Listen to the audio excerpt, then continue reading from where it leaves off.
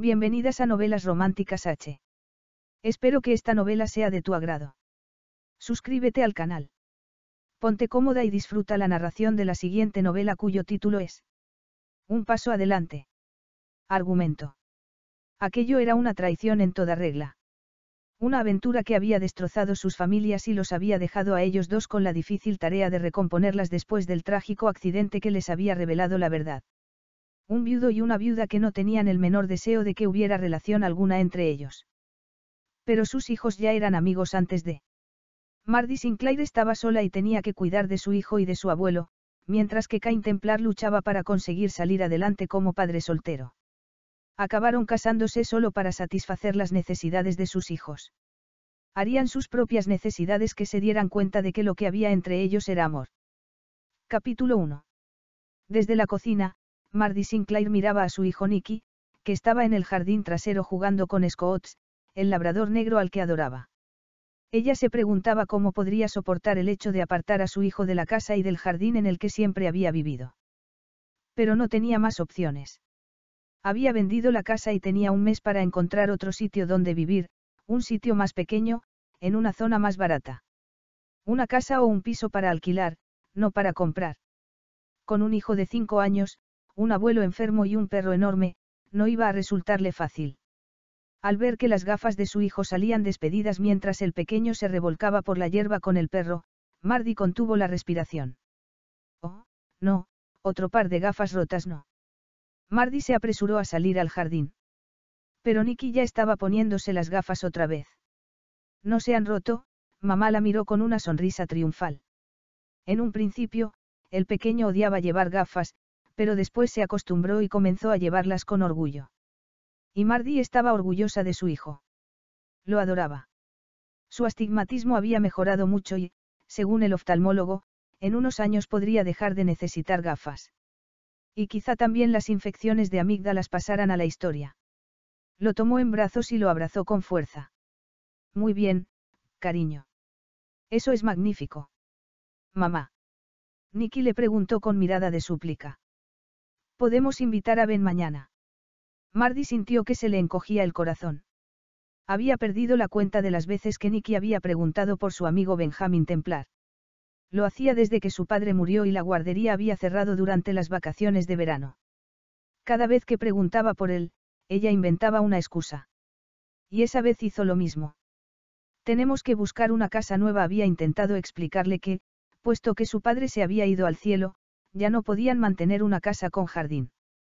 Pero era algo difícil de comprender para un niño de cinco años. Intentaremos encontrar una casa cerca de un parque, donde Scott y tú podáis correr. ¿Y Ben podrá venir al parque con nosotros?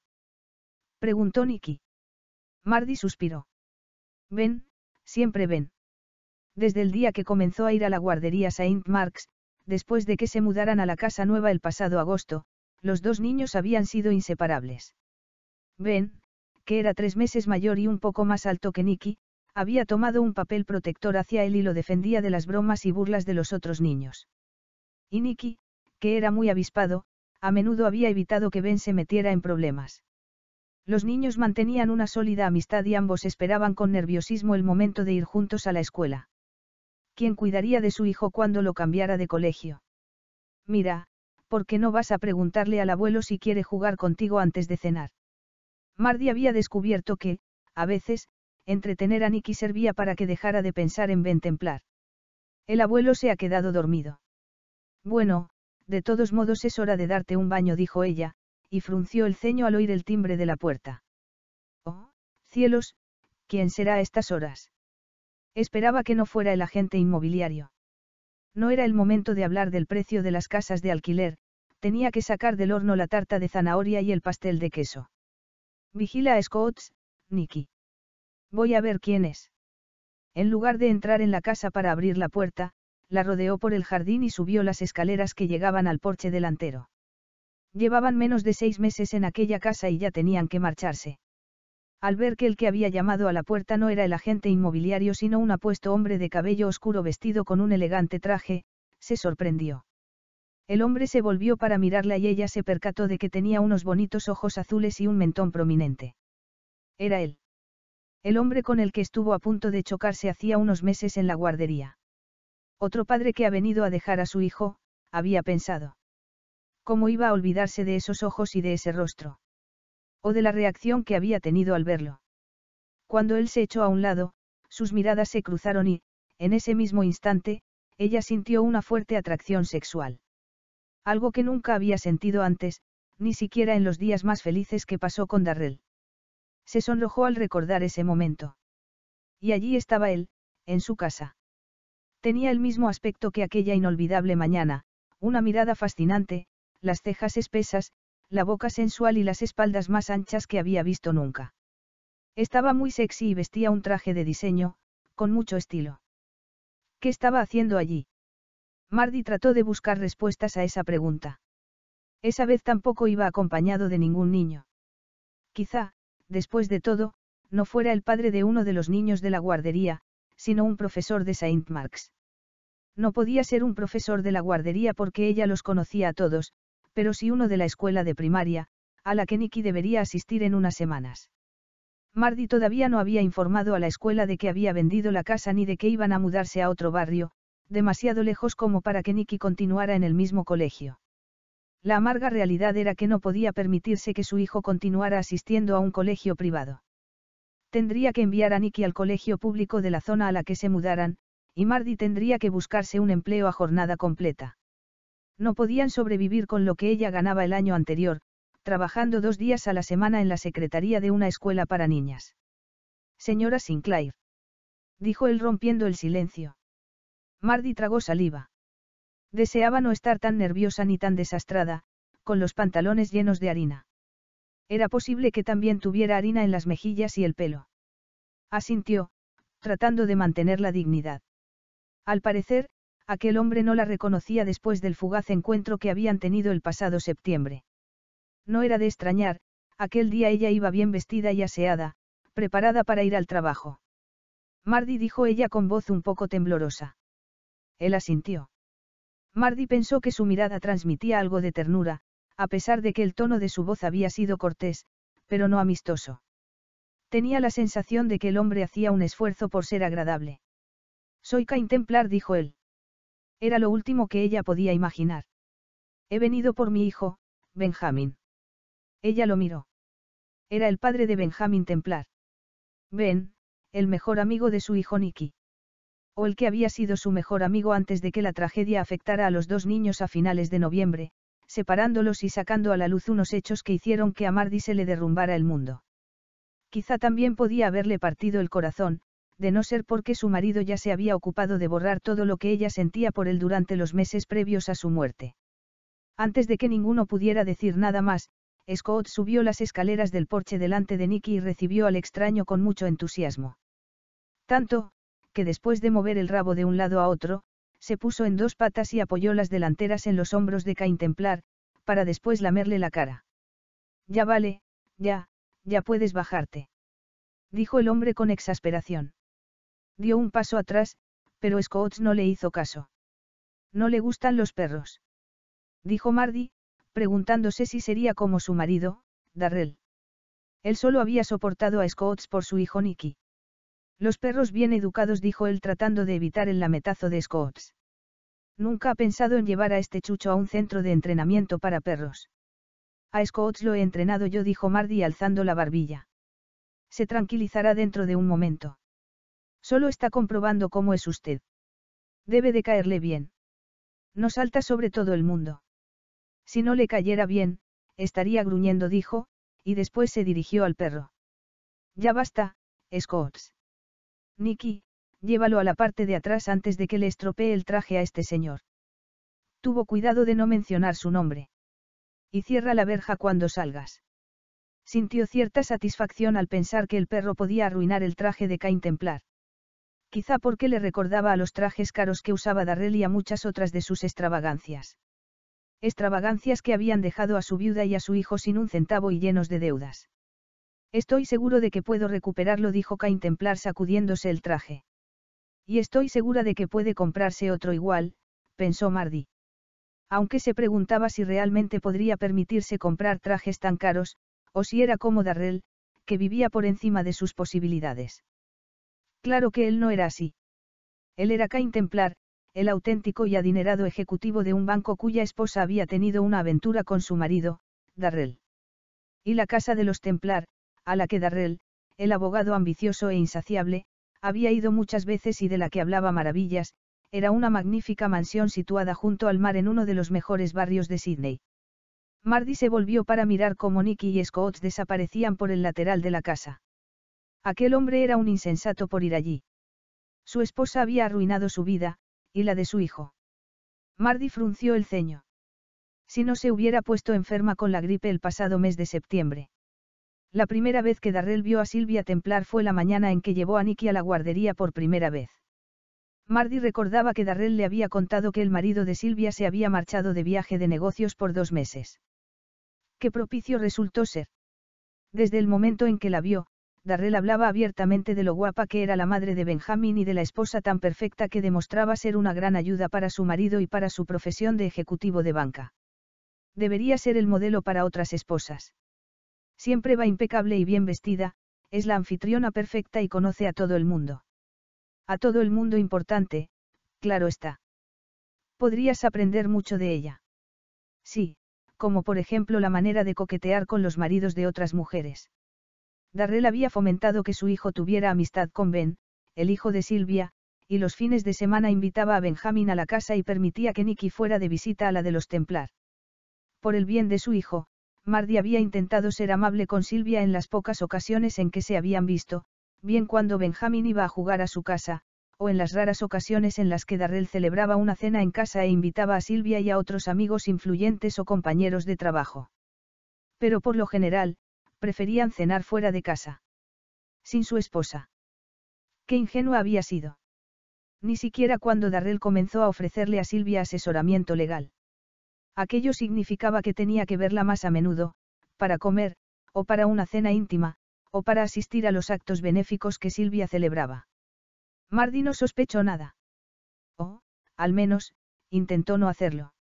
Odiaba la imagen de esposa celosa y, puesto que el marido de Silvia estaba de viaje, era comprensible, o de eso trataba de convencerse, que Darrell se ocupara más de ella. Al fin y al cabo, era su abogado. Mirando atrás, era evidente que Darrell se había quedado prendado de la fortuna, glamour y estupendos contactos que tenía Silvia Templar. Por no decir de su lujosa casa y estilo de vida.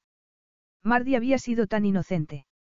Aún no sabía cuándo la relación amistosa que Darrell mantenía con Silvia se había convertido en una aventura amorosa. Solo sabía que el último domingo de noviembre, un par de meses después de que ambos se conocieran, su marido y la esposa de Cain Templar habían fallecido juntos en un accidente de coche en Blue Mountains. Una noche en la que supuestamente Darrell regresaba de pasar el fin de semana en una conferencia acerca de la ética en el mundo laboral. El lujoso BMW que Darrell se había comprado dos meses antes, gracias a un crédito bancario, quedó destrozado y sin posibilidad de reparación.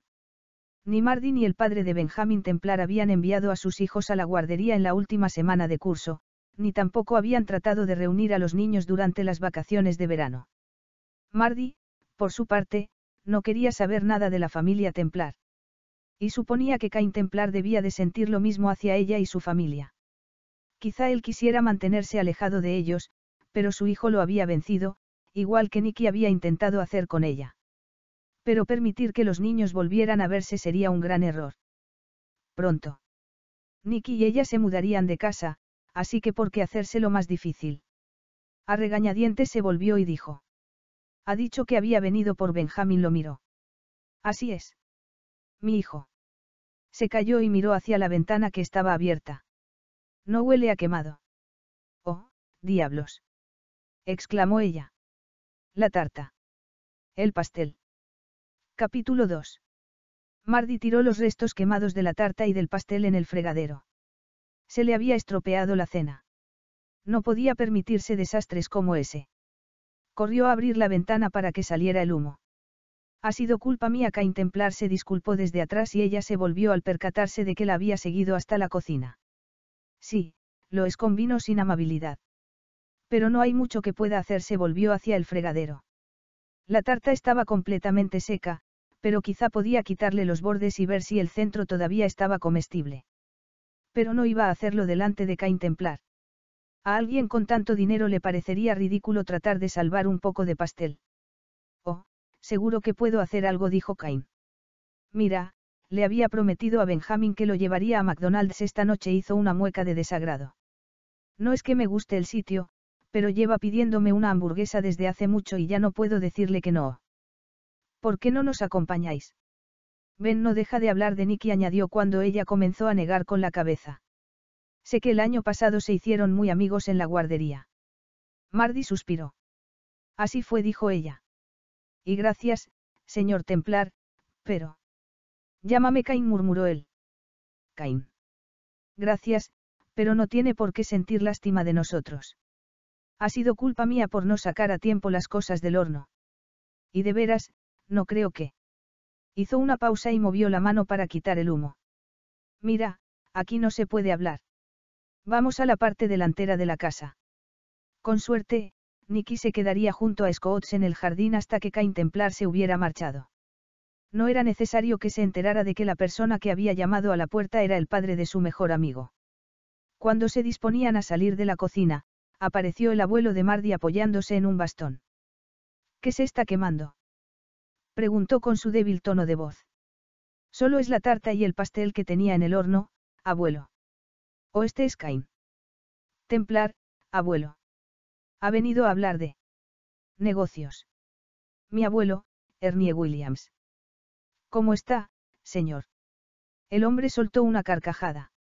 Hacía mucho tiempo que no me llamaban señor. No me suena bien. Llámame Ernie. Vale, Ernie. Mardi imaginaba que a Cain no le apetecía quedarse allí manteniendo una conversación con su abuelo. A ella tampoco le apetecía que se quedara. Abuelo, ¿te importaría llenar la bañera y decirle a Nicky que entre cuando esté lista? Le dijo.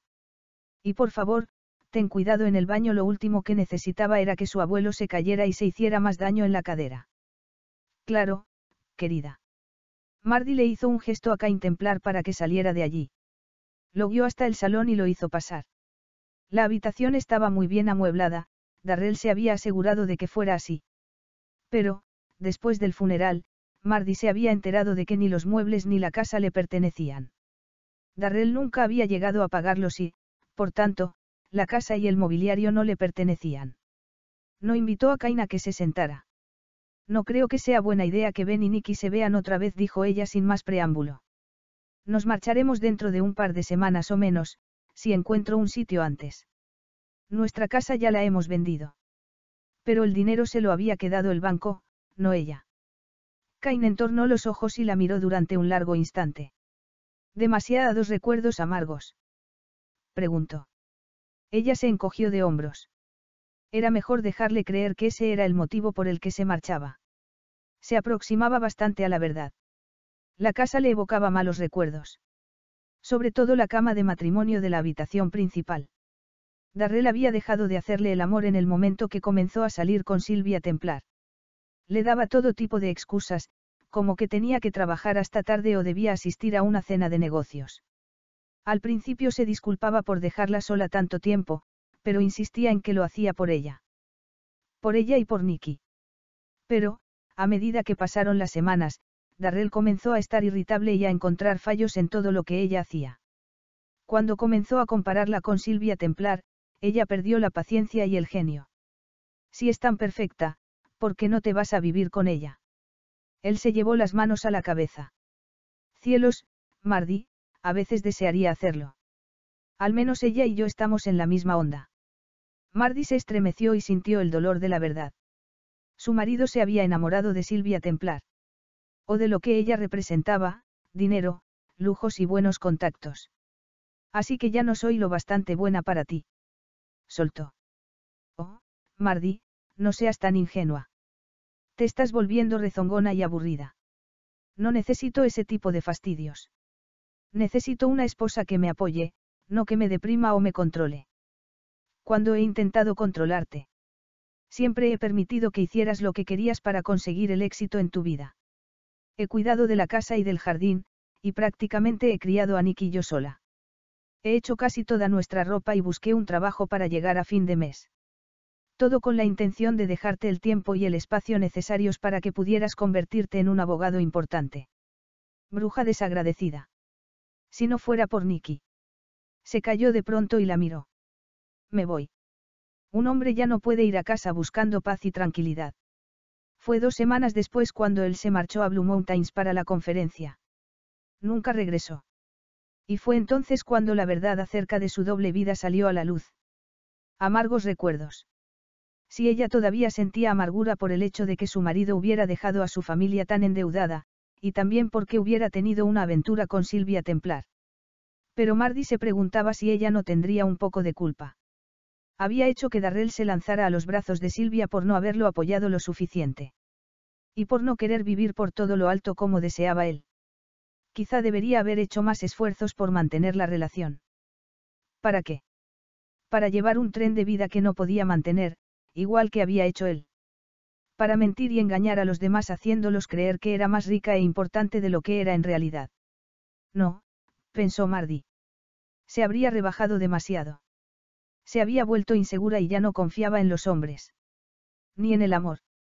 Pasaría mucho tiempo antes de que pudiera confiar en otro hombre. Los ojos se le llenaron de lágrimas. ¿Cómo iba a sentirse bien hasta que no terminara de pagar las deudas de su marido, o hasta que a Nicky lo operaran de las amígdalas y volviera a ser un niño fuerte y sano, o hasta que operaran a su abuelo de la cadera? Cain Templar observaba los cambios de expresión en los ojos color ámbar de Mardi, y se preguntaba si lo que veía en sus ojos era rabia contenida o el dolor de un corazón roto. Mardi era toda una sorpresa para él. Se había imaginado que la viuda de Darrell Sinclair sería poquita cosa con voz de pito y poca personalidad. Sin embargo, aquella mujer tenía algo especial, un dinamismo que ni siquiera la traición de su marido ni el golpe de su muerte habían conseguido sofocar. Y Cain recordó que la había visto antes. Se había chocado con ella en la guardería de Ben, en septiembre, la mañana que él marchaba hacia Nueva York. Entonces no sabía quién era ella, ni que el niño era Nicky, el amigo de Ben. Normalmente, su esposa o la niñera llevaba a Ben a la guardería por la mañana. Pero ese día, Cain tenía que tomar un avión a última hora de la mañana y decidió llevar a Ben a Saint Marks el mismo. Apenas se había fijado en la mujer que estaba junto a la verja. Le había parecido una mujer corriente, pero cuando sus miradas se cruzaron, se fijó en el color ámbar de sus ojos, que bajo las largas pestañas y con la luz del sol de la mañana parecía oro puro. Cain no podía imaginar que sus vidas se verían entrelazadas unos meses más tarde. El marido de ella y su esposa. Y sus hijos, por cosas del destino, se habían hecho muy amigos. Y por eso estaba él allí. Como te dije, estoy aquí por Benjamín, mi hijo Cain habló con firmeza. De pronto se sintió desorientado, atrapado por la mirada de aquellos bonitos ojos color ámbar. Sorprendido por cómo había reaccionado, bajó la mirada y se fijó en que Mardi tenía la ropa llena de harina. Mi hijo se está volviendo incontrolable, admitió él, tratando de no fijarse en las piernas esbeltas y bronceadas de Mardi. Que tenía aquella ama de casa que hacía que se pusiera tan nervioso. Ben está irascible, murmuró. No obedece, tiene rabietas como si fuera un niño de dos años, y ya ha tenido cinco niñeras desde que mides de Navidades. Cinco niñeras, pensó Mardi, sintiendo lástima por el pequeño. Acababa de perder a su madre y ya lo estaban dejando con desconocidos. Porque el padre no había dejado de trabajar durante una temporada para cuidar de su hijo en las vacaciones de verano. Lo he intentado todo, dijo Cain Templar. Incluso me he tomado algunos días libres cuando me ha fallado alguna niñera incompetente. Algunos días libres. Qué generoso, pensó Mardi. Era evidente que ese no era uno de los días libres. Se fijó en su inmaculado traje de negocios y supuso que había ido allí directamente desde la oficina. Ni siquiera había ido a ver a su hijo primero. ¿Y dónde está Ben ahora? preguntó ella. Está con una niñera nueva, dijo Cain. He hablado con Ben por teléfono y dice que ya la odia. He tenido que decirle que lo llevaría a McDonald's para que se calmara. Y no es que no haya hecho nada durante las vacaciones. Ha ido al cine, al parque y a la playa. También han venido amigos suyos a jugar a casa, pero parece que no le importa nada ni nadie se puso tenso. Nadie excepto. Acaba de perder a su madre. Exclamó Mardi, tratando de impedir que terminara de decir, nadie, excepto a su amigo Nicky. Ben tendrá que olvidarse de Nicky, pensó ella. Los ojos de Cain Templar se oscurecieron cuando ella mencionó a la madre de Ben. Ya han pasado varias semanas. Y cada vez está peor. A un niño pequeño, las vacaciones de verano pueden parecerle eternas. Se pondrá bien cuando empiece el colegio, solo que no encontrará a Nicky allí, pensó Mardi. Queda nada más que una semana para que empiece, dijo ella. Ben no echa de menos a su madre, ni el colegio, dijo Cain. Mardi contuvo el aliento y anticipó lo que Cain iba a decirle. Es su amigo Nicky. Tu hijo, Nicky. Ben no deja de preguntar si puede jugar con él. He intentado entretenerlo con todo lo que se me ocurre. Estaba convencido de que tú tampoco querrías fomentar la amistad entre ambos, al menos en algo estaban de acuerdo. Pero mantener a Ben alejado de Nicky no ha funcionado. Solo ha servido para que se vuelva más rebelde y difícil. No sé si Nicky también ha echado de menos a Ben. Cain miró a Mardi a los ojos y vio que ella dudaba. ¿Cómo podía negárselo? MMM. Bueno, la única solución que se me ocurre es dejarlos jugar juntos y esperar a que se cansen el uno del otro dentro de poco, como hacen los niños. ¿Y si no se cansan? Cuando regresen a Saint Marks con los demás niños, harán otros amigos. Mardi respiró hondo. Nicky no irá a Saint Marks este año. ¿Por qué no? Aunque te cambies de barrio, seguirás mandando a tu hijo a Saint Marks, no. Allí estará con niños que ya conoce. Sería una lástima que no volviera, es un colegio muy bueno. Muy bueno, y muy caro, pensó Mardi, pero cuando se disponía a hablar, Cain la interrumpió. Si los mantenemos separados, ellos continuarán luchando para verse. Y si dejamos que estén juntos, cada vez estarán más unidos. Conozco a Nicky. Mira, es mejor si ya no se ven más. Nicky no regresará a Saint Marks, así que no hay más que decir. Pero, ¿por qué no? Ni siquiera has encontrado otro sitio donde vivir. ¿Por qué no dejas que vaya hasta que lo encuentres? ¿Por qué no puedo permitirme? Se detuvo de golpe. No puedes permitírtelo. Preguntó él frunciendo el ceño. La expresión de sus ojos cambió y se volvió más dura. Me estás diciendo que tu marido no te dejó dinero suficiente para mantener a tu familia. Creía que era un abogado importante, miró a su alrededor y se fijó en el mobiliario, en la alfombra y las estanterías. Él tenía muchos gastos, no iba a criticar al padre de Nicky, y menos cuando Darrell ya no estaba con ellos y no podía hacerles más daño. Estaba decidida a mantener su imagen de padre bueno y cariñoso, por el bien de su hijo. Por favor, no quiero hablar de ello. Cain suponía que Mardi había estado enamorada de ese asqueroso y quizá todavía lo amaba, a pesar de lo mucho que la estaba haciendo sufrir. Pobre mujer, y había sido su esposa la que le había quitado el marido a Mardi, su esposa era la responsable del dolor que ella sentía. En cierto modo, él también se sentía responsable. Mira, aunque no mandes a Nicky a Saint Marks, los niños pueden seguir viéndose si tú lo permites, discutía por el bien de su hijo, aunque en el fondo de su corazón no quería que los niños volvieran a verse. Ver a menudo a la familia Sinclair, a la viuda de Darrell Sinclair, significaría recordar la humillante traición de su esposa. Pero lo que él pensara, sintiera o quisiese no importaba. Era Ben quien importaba el hijo del que apenas se había ocupado durante los últimos cinco años. La búsqueda del éxito y de la riqueza se había apoderado de su vida y lo había alejado de su hijo. Mardi observó a Cain durante un instante y pensó que era un hombre peligroso. Y Ben no tiene abuelos que puedan ayudarte. Nada más hacer la pregunta se quedó pensativa. Nicky no había conocido a sus abuelos, solo a su bisabuelo Ernie.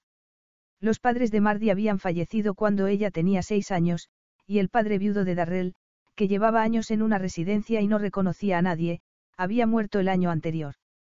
No, Silvia no tenía padres, y mi padre y mi madrastra viven en Nueva. Zelanda su fría mirada se tornó gélida. No estamos unidos. Mardi lo miró a los ojos y trató de averiguar si lo que veía en ellos era dolor o rabia. Era imposible saberlo. ¿No te llevabas bien con tu madrastra? Preguntó con simpatía. No me llevaba bien con mi padre, dijo él, dejando claro que ahí se zanjaba el tema. No sabía que eras neozelandés, dijo ella. No lo soy. Tengo nacionalidad australiana. Pero naciste y te criaste en Nueva Zelanda. Me marché de allí cuando cumplí los 18 años, para ir a Sydney. University. ¿Y no has regresado desde entonces? Una vez. Cuando Ben tenía unos 18 meses había pensado que quizá a su padre se le ablandaría el corazón cuando viera a su primer nieto. Pero no fue así. Y Ben tampoco tiene tíos o tías. No tienes hermanos o hermanas que puedan ayudarte con él. O primos con los que pueda jugar. No, tengo un par de hermanastros, pero para ellos no existo. Y viceversa. Dijo con una sonrisa de satisfacción. Mira, todavía queda una semana para que empiece el colegio, le recordó. Si dejamos que nuestros hijos se vean, una semana debería ser tiempo suficiente para que se les pase la obsesión que tienen y para que Ben se calme un poco. Sigo pensando que no es una buena idea. Estás siendo muy dura con los niños. Pensé que tendrías más compasión. ¿Y qué importa si se hacen más amigos? Nicky ayuda a Ben y mi hijo necesita ayuda. Merece la pena correr el riesgo. Lo hago por los niños. Llevan separados desde antes de que terminara la guardería. ¿Para qué vamos a reunirlos ahora si sabemos que será por poco tiempo? Porque tenemos que vernos nosotros y solo hará que perduren los amargos recuerdos, quiso añadir. Pero, en el fondo, Mardi sabía que no eran los amargos recuerdos lo que la preocupaba. Tenía que ver con el hombre alto y atractivo, de ojos azul cobalto, que llevaba meses apareciendo en sus sueños porque el desconocido que había visto en la puerta del colegio tenía que ser el marido de Silvia Templar y el padre de Benjamín. Y porque tenía que aparecer allí, pidiéndole una cosa que los obligaría a verse más. Solo tienen cinco años, dijo él, cambiando de táctica. No entienden lo que ha pasado ni por qué han estado separados. Solo saben que quieren volverse a verla, miró. Sé que será tan difícil para usted como para mí, señora Sinclair, pero creo que debemos dejar a un lado nuestros sentimientos por el bien de nuestros hijos. Por el bien de nuestros hijos.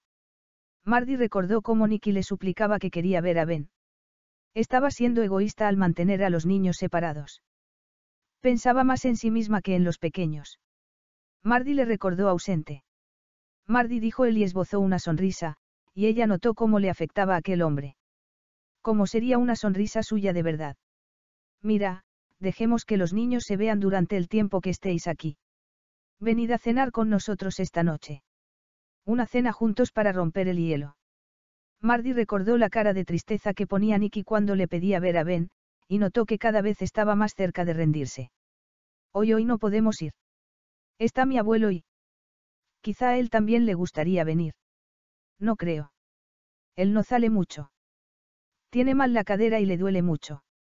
Está. Estuvo a punto de decir, esperando a que lo operen, pero Cain Templar no comprendería por qué tenía que esperar.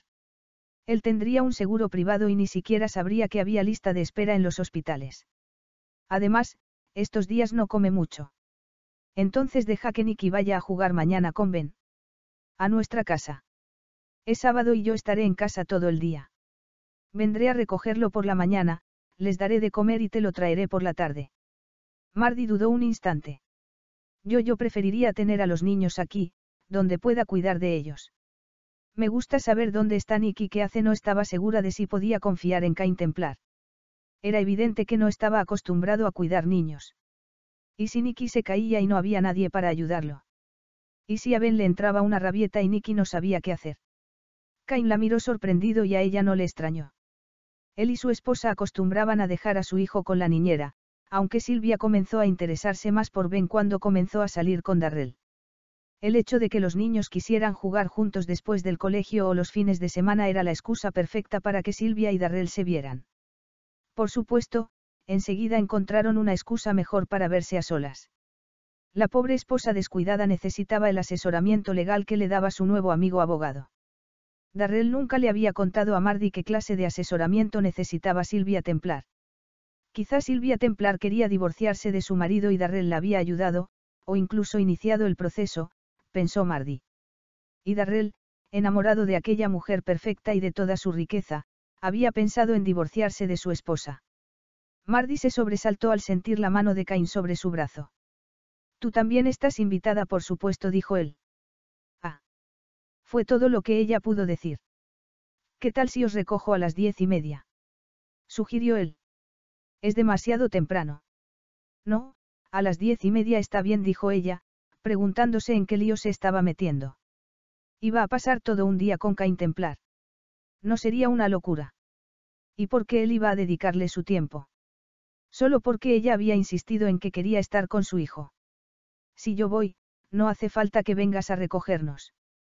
Tengo coche. Siempre podía aparcarlo un poco antes de la casa para que Cain Templar no se avergonzara de su viejo utilitario. Darrell le había comprado a regañadientes un coche de segunda mano cuando ella decidió que quería trabajar media jornada. Su esposo no creía en las mujeres trabajadoras. Las mujeres estaban hechas para quedarse en casa y cuidar de ella. A cambio, Mardi tuvo que darle el visto bueno para que él se comprara el maldito BMW. Como quieras, dijo Cain con frialdad. Bueno, he de irme, dijo, y ella asintió. Segundos después se había marchado.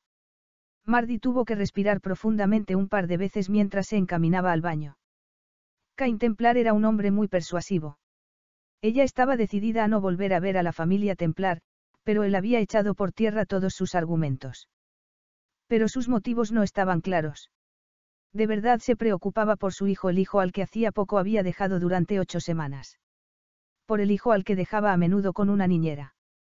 O es que quería tener un niño más calmado, para tener una vida más tranquila. Veinte minutos más tarde, Mardi estaba secándole el pelo a Nicky después del baño, cuando se dio cuenta de que alguien llamaba a la puerta. Oh, no, ¿quién será ahora? Ya voy yo, gritó el abuelo, y Mardi oyó el ruido de su bastón a medida que avanzaba por el pasillo. Ten cuidado, gritó. Ve despacio. Su abuelo siempre intentaba ayudarla, pero moverse era doloroso para él. Ya va. Ya va. Momentos más tarde, Mardi oyó voces en la puerta. Una era la de su abuelo, y la otra, una voz más grave que se parecía a la de. Se quedó paralizada. Mamá, has dejado de secarme. Lo siento, continuó secando a su hijo, pero agudizando el oído para tratar de averiguar de qué hablaban los hombres en la cocina. ¿Para qué había vuelto Cain Templar? ¿Se había olvidado algo? ¿O había cambiado de opinión respecto al día siguiente? Quizá había recordado que tenía algo más importante que hacer. Mardi se preguntaba si Cain tenía la costumbre de decepcionar a su hijo, y esperaba que no le hubiera dicho a Ben que iba a visitar a Nicky. Frunció el ceño al oír que su abuelo le daba las gracias a Cain. ¿Por qué? Le habría contado que al día siguiente iban a reunir a los pequeños. El abuelo sabía que Nicky estaba deseando ver a Ben otra vez. Pero le estaba dando las gracias por volver a meter al hijo de Jezabel en la vida de Nicky. Oyó cómo el abuelo le decía adiós a Cain con alegría, un tono de voz que hacía mucho tiempo que Mardi no escuchaba en él. Después oyó el ruido de la puerta al cerrar. Cain Templar se había marchado. Bueno, al menos no había ido para verla a ella, claro que no sabía si sentirse aliviada o decepcionada. El abuelo se dirigió al baño y desde la puerta dijo. Era tu amigo otra vez. Nos ha traído la cena. ¿Nos ha traído qué? Dijo que fue culpa suya que se te quemara la cena, y nos ha comprado otra tarta y otro pastel de no sé qué pastelería. Mardi se puso en pie, sorprendida por el detalle de Cain. O era que había sentido pena por ella porque suponía que no tenía dinero. Se sonrojó, alegrándose de no haber abierto ella la puerta. No quería la caridad de nadie. Y menos la de él. ¡Guau! Vamos a ver. Nicky salió corriendo hacia la cocina y el abuelo lo siguió con una sonrisa. Mardi se quedó en el baño vaciando la bañera y recogiendo. Pero a pesar del recelo que sentía por aceptar la caridad de un templar, se quitó un peso de encima al ver que tenía otra tarta y otro pastel para dar de cenar a su familia. Últimamente no conseguía quitarse muchos pesos de encima. Capítulo 3. Estamos llegando, mamá. Casi, cariño Mardi miró a su hijo por encima del hombro y sonrió. Las dudas que tenía sobre si debía aceptar la invitación de Cain Templar se habían desvanecido al ver que Nicky estaba radiante desde que se enteró de que iba a ver a Ben. Si en el futuro esa visita le traía problemas, ya buscaría una solución. Esta es la calle de Ben. Yupi. Ya la veo. Es la casa que tiene un muro alto. Nicky había estado allí antes. Con su padre. Mardi aminoró la marcha. Voy a aparcar a la sombra de este árbol. Podemos ir andando desde aquí. Nicky se quitó el cinturón y se bajó del coche en cuanto pararon. Vamos, mamá. Quiero ver a Ben. Mardi también estaba deseando ver a Ben. Esperaba que la presencia de Nicky sirviera para tranquilizarlo y que Ben no le contagiara las rabietas a su hijo. Ya tenía bastantes problemas. Uno de ellos era la idea de ver a Cain templar otra vez. A mí esto me gusta tan poco como a ti, le había dicho Cain, enfatizando que la invitaba solo por el bien de su hijo. Él no la quería allí, pero ella no le había dado mucha opción. No iba a dejar a Nicky solo en casa de Cain Templar. No conocía a aquel hombre. No sabía si podía confiarle a su hijo, y menos si podría cuidar de dos niños de cinco años a la vez. Oh, Mardi, a quien tratas de engañar, pensó dando un suspiro. Sabía que el motivo por el que no quería ir allí esa noche era otro muy diferente. ¿Y si él podía ver la verdad en sus ojos? La verdad era que se moría por él. Cuando llegaron a la puerta de la casa, Mardi se detuvo para tomar aire y recolocarse la ropa. Llevaba el mejor pantalón que tenía y una blusa blanca. Vio que en el lateral de la puerta había un telefonillo y apretó el botón. Una mujer con acento extranjero le dijo que pasara y se dirigiera a la puerta principal de la casa. Mardi supuso que era la asistenta o el ama de llaves. O la última niñera de Ben. La mujer no parecía lo bastante joven ni refinada como para ser una amiga especial del gran Cain Templar. La idea de que Cain pudiera tener una amiga hizo que Mardi frunciera el ceño. Se preguntaba si él habría tenido una amante mientras Silvia estaba viva, y si la humillación había hecho que su mujer se entregara a otro hombre. El ambicioso marido de Mardi Sinclair. Mardi trató de no pensar en ello y empujó la verja para dejar pasar a Nicky.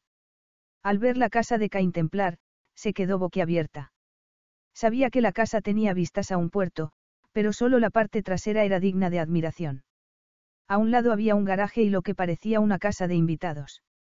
También una terraza y varios maceteros de piedra llenos de flores de colores. De pronto se abrió la puerta de la casa y salió un niño. Mardi reconoció a Ben, era alto, tenía el pelo oscuro y los ojos azules, era una versión en miniatura de su padre pero con más ternura y entusiasmo. Hola, Nicky exclamó Ben al ver a su amigo. Nicky sonrió, soltó la mano de su madre y se adelantó. Hola, Ben. Mardi sintió que se le humedecían los ojos al ver que Ben agarraba la mano de su hijo y lo llevaba dentro de la casa. Había una mujer de mediana edad junto a la puerta, que entró cuando los niños pasaron corriendo junto a ella. Disculpe que mi hijo. Comenzó a decir Mardi, pero la mujer ya se había dado la vuelta. Sígame dijo la mujer, sin presentarse. Mardi entró en un recibidor circular que tenía una escalera que recordaba a la de lo que el viento se llevó. En el techo, la lámpara de araña más grande que había visto en su vida. Los niños desaparecieron por el pasillo que llevaba a la parte delantera de la casa. Vamos. Dijo el ama de llaves, y Mardi aceleró el paso. Esperaba que de un momento a otro apareciera Cain de alguna de las habitaciones.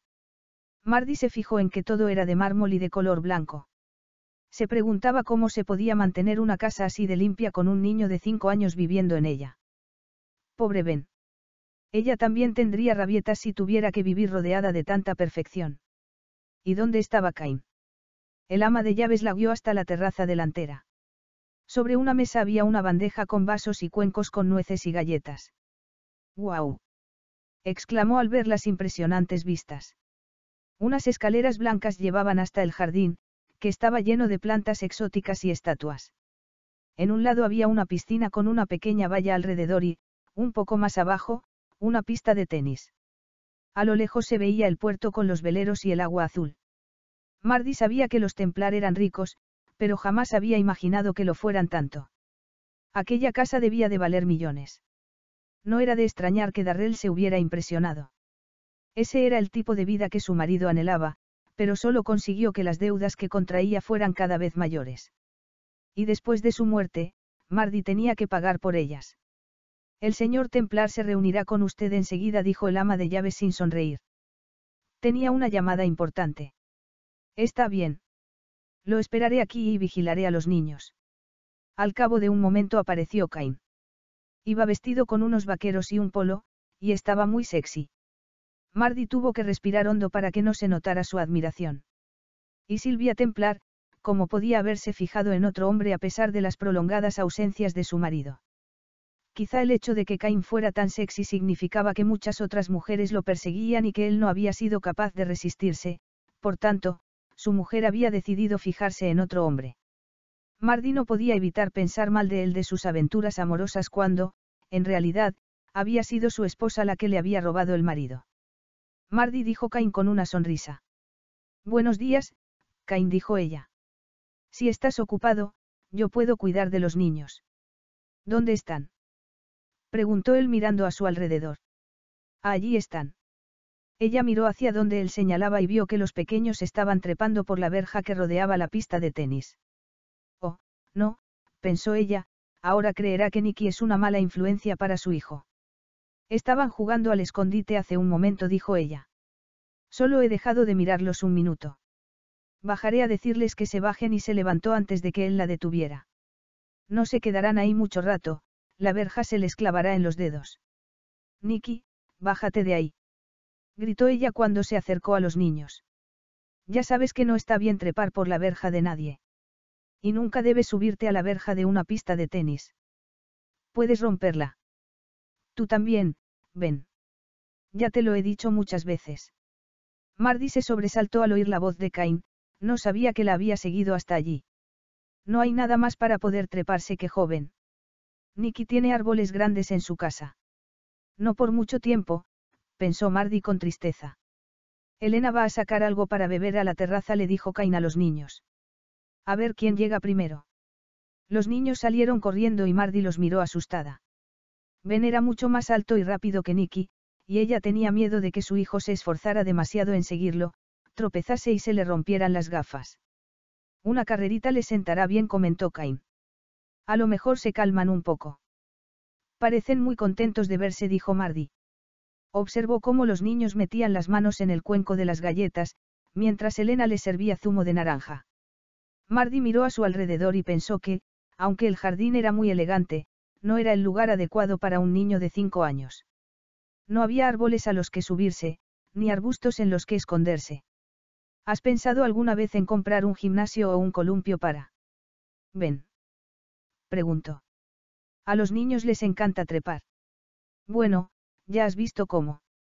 Mi esposa creía que un parque infantil estropearía las vistas y la estética del jardín. Ya me costó convencerla para que vayáramos la piscina. El jardín era su vida y su orgullo. Ella vigilaba todo lo que se hacía en él. Vigilaba. Por supuesto, Silvia Templar no iba a estropearse las manos haciendo jardinería. Para eso contrataba a los mejores jardineros y diseñadores. Y ella lo utilizaba más que yo, añadió Cain. Yo siempre trabajaba muchas horas, incluso los fines de semana, y pasaba mucho tiempo fuera de casa por viaje de negocios. Tenemos un gimnasio en el sótano, dijo Cain. Allí hay todo tipo de aparatos. Mardi frunció los labios y se quedó pensativa. Bicicletas estáticas y cintas de correr. No era lo mismo que los columpios o toboganes. Nicky siempre construía cabañas con cajas de cartón, entre los árboles. Claro que. Mardi no podía imaginar aquel hermoso jardín con cartones alrededor. Pero no es a eso a lo que te refieres, ¿verdad? Cain la miró a los ojos, te refieres a equipamiento exterior, no. Diseñado para niños. Podrías poner un columpio y un tobogán en el lateral de la casa, para que no se vea mucho, sugirió ella. Hay un apartamento independiente y un garaje en ese lateral, y una barbacoa y una zona de descanso con arbustos en el otro. Pero supongo que habrá algún sitio. Mardi se quedó boquiabierta. Iba a tener en cuenta su opinión. Y quizá podrías poner las estatuas más cerca de los macizos, para evitar que los niños las tiren cuando correteen. MMM. Bien. ¿Alguna otra idea? Preguntó Cain mientras subía por las escaleras de la terraza. En su tono de voz había algo de frialdad, y Mardi se sonrojó un poco. Lo siento, debes de pensar que soy una maleducada. Ni siquiera te he dicho lo bonito que es tu jardín. Ya sé que es muy bonito. Lo que necesito saber es cómo adaptarlo más a los niños. Agradezco tu opinión si se te ocurre algo más. Cain notó la sorpresa que se reflejaba en la mirada de Mardi y, de pronto, al ver sus ojos color ámbar iluminados por el sol, sintió que algo se removía en su interior. Ya se había enamorado una vez de un par de ojos preciosos. Silvia también tenía los ojos bonitos. Frunció el ceño. No quería comparar a Mardi con su esposa. Mardi era otro tipo de mujer. Por un lado, sus valores eran muy diferentes a los de Silvia. Cuidaba a su hijo, cuidaba a su abuelo y se preocupaba por los demás. Y él sospechaba que no era el tipo de mujer que engaña a su marido con otro ni el tipo de mujer con la que a él le gustaría tener una aventura. Es más, era la última mujer en el mundo con la que le gustaría liarse. La viuda de Darrell Sinclair. Maldita sea, pero Ben necesitaba a alguien como ella. Deja que lo piense, dijo ella. Por cierto, no te he dado las gracias por la tarta y el pastel. No hacía falta que. Me sentía responsable por haber ido en tan mal momento. Eh, chicos. Dejad algo para nosotros, gritó cuando llegó a la terraza. También queremos picar algo. Nosotros ya hemos comido bastante, dijo Ben. Vamos, Nick agarró la mano de su amigo, vamos a buscar caracoles. No creo que encontréis ninguno. El jardinero es muy meticuloso con los caracoles y las malas hierbas. ¿Cada cuánto viene? Preguntó Mardi con curiosidad. Nuestro jardinero, Joe, viene todos los días, de lunes a viernes contestó Cain. El fin de semana lo tiene libre. Cinco días a la semana. Claro que era el tipo de jardín que necesitaba constante atención. ¿Quieres un zumo de naranja, Mardi? Cain le sirvió un vaso. Por favor, siéntate. Podemos vigilar a los niños desde aquí. Podemos. Mardi se mordió el labio inferior. Iba a quedarse allí con ella. O pensaba buscarse una excusa nada más terminarse el zumo. Cain se percató de que estaba un poco nerviosa. Era evidente que se sentía incómoda con él. Porque era el marido de Silvia Templar y le recordaba que Darrell había tenido una aventura con su esposa. Bueno, suponía que era comprensible, sobre todo si amaba a su marido infiel. Bueno, Mardi, ¿qué haces durante la semana cuando no cuidas de tu hijo o de tu abuelo? Trabajas. Tienes una profesión. Juegas al bridge. Trabajo a media jornada durante las vacaciones de verano, dijo con reticencia, y durante el curso, en un colegio de niñas. El año pasado solo trabajé media jornada, pero este año espero hacer más horas. Ah. ¿Eres profesora? No, trabajo en la secretaría. Ah, y durante las vacaciones de colegio. Era la pregunta que Mardi temía. Alzó la barbilla, pensando que no tenía por qué avergonzarse. He estado limpiando casas durante la semana. Mi abuelo cuidaba de Nicky mientras yo estaba fuera solo eran unas horas, de miércoles a viernes, pero ganaba para pagar lo básico. Mardi vio que Cain entornaba los ojos y que el azul de su mirada se volvía más intenso. Ahora me desprecia, pensó ella.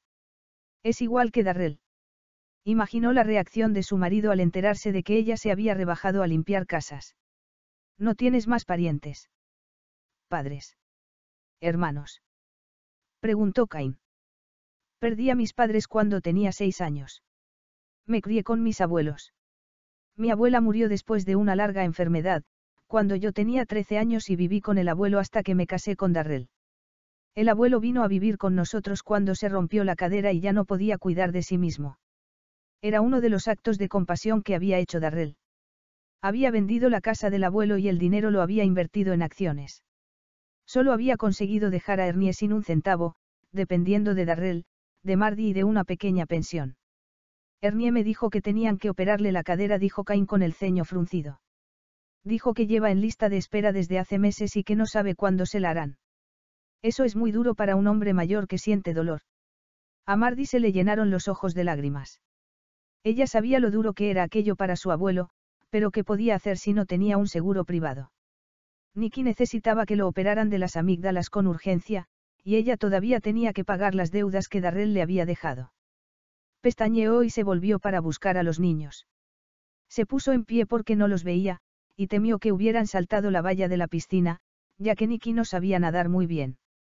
Cuando vio que estaban tumbados sobre la hierba, se sentó de nuevo. Lo siento, murmuró. No los veía. Eres muy protectora con tu hijo. Eso está bien, Mardi se preguntaba si la estaba comparando con Silvia. Dime, dijo Cain, sorprendido porque aquella mujer no se parecía a ninguna otra de las que él había conocido. ¿Cómo conociste a tu marido? Trabajabas en lo mismo que él antes de casaros. Nos conocimos en la universidad. Yo estaba haciendo la carrera de biblioteconomía y Darrell estaba en el último año de derecho. Los dos éramos miembros del club de tenis de la universidad. Darrell había sido tan encantador en aquella época, que Mardi pensó que había encontrado al hombre de sus sueños. Por aquel entonces él la quería, tanto como Darrell era capaz de querer a alguien. ¿Terminaste la carrera? Por desgracia, no. Nos casamos y tuvimos un hijo. Se había quedado embarazada la noche de la graduación de Darrell. Él se quedó impresionado cuando se lo contó. Tenía pensado conseguir un futuro brillante como abogado y ganar mucho dinero, pero, si tenía un hijo, no podría hacerlo. Ella estaba decidida a tener el bebé, aunque eso significara perder a Darrell. Al final, él se quedó a su lado y decidió que lo mejor era que se casaran. Cuando nació Nicky, él insistió en que Mardi se quedara en casa con su hijo. No quiero que la gente piense que no puedo mantener a mi esposa, decía. Ella aprendió a cocinar y a coser para hacer todo lo posible por apoyar a su marido durante la carrera hacia el éxito. Después Nicky empezó a ir a la guardería, comenzaron a aparecer las deudas, y ella convenció a Darrell para que le permitiera trabajar a media jornada. Así que juegas al tenis. Un día echaremos un partido. No juego desde los primeros años de mi matrimonio. Seguro que tú practicas mucho, dijo ella. Debes de ser un experto jugador de tenis. Él soltó una carcajada. Me temo que tampoco se me da muy bien. Tomé unas clases cuando me mudé aquí, pero, a menos que uno juegue continuamente y practique mucho, no se llega muy lejos. No utilizas la pista de tenis a menudo. Estoy muy ocupado trabajando, apenas tengo tiempo para hacerlo. Y mi esposa casi nunca jugaba. Prefería hacer otras cosas durante la semana y los fines de semana solía organizar actos benéficos. Le encantaba salir y divertirse. Mucho más que a mí. Cain no podía creer que le estaba contando tantas cosas a Mardy Sinclair. Que tenía aquella mujer que hacía que él hablara sin reservas. Normalmente no confiaba sus problemas a las mujeres. A ellas les gustaba mucho cotillear. Para dejar de hablar de él y que la conversación se centrara de nuevo en. Mardy, preguntó sin pensar. ¿Sabías que tu marido tenía una aventura amorosa con mi mujer? Capítulo 4. Mardy se quedó de piedra.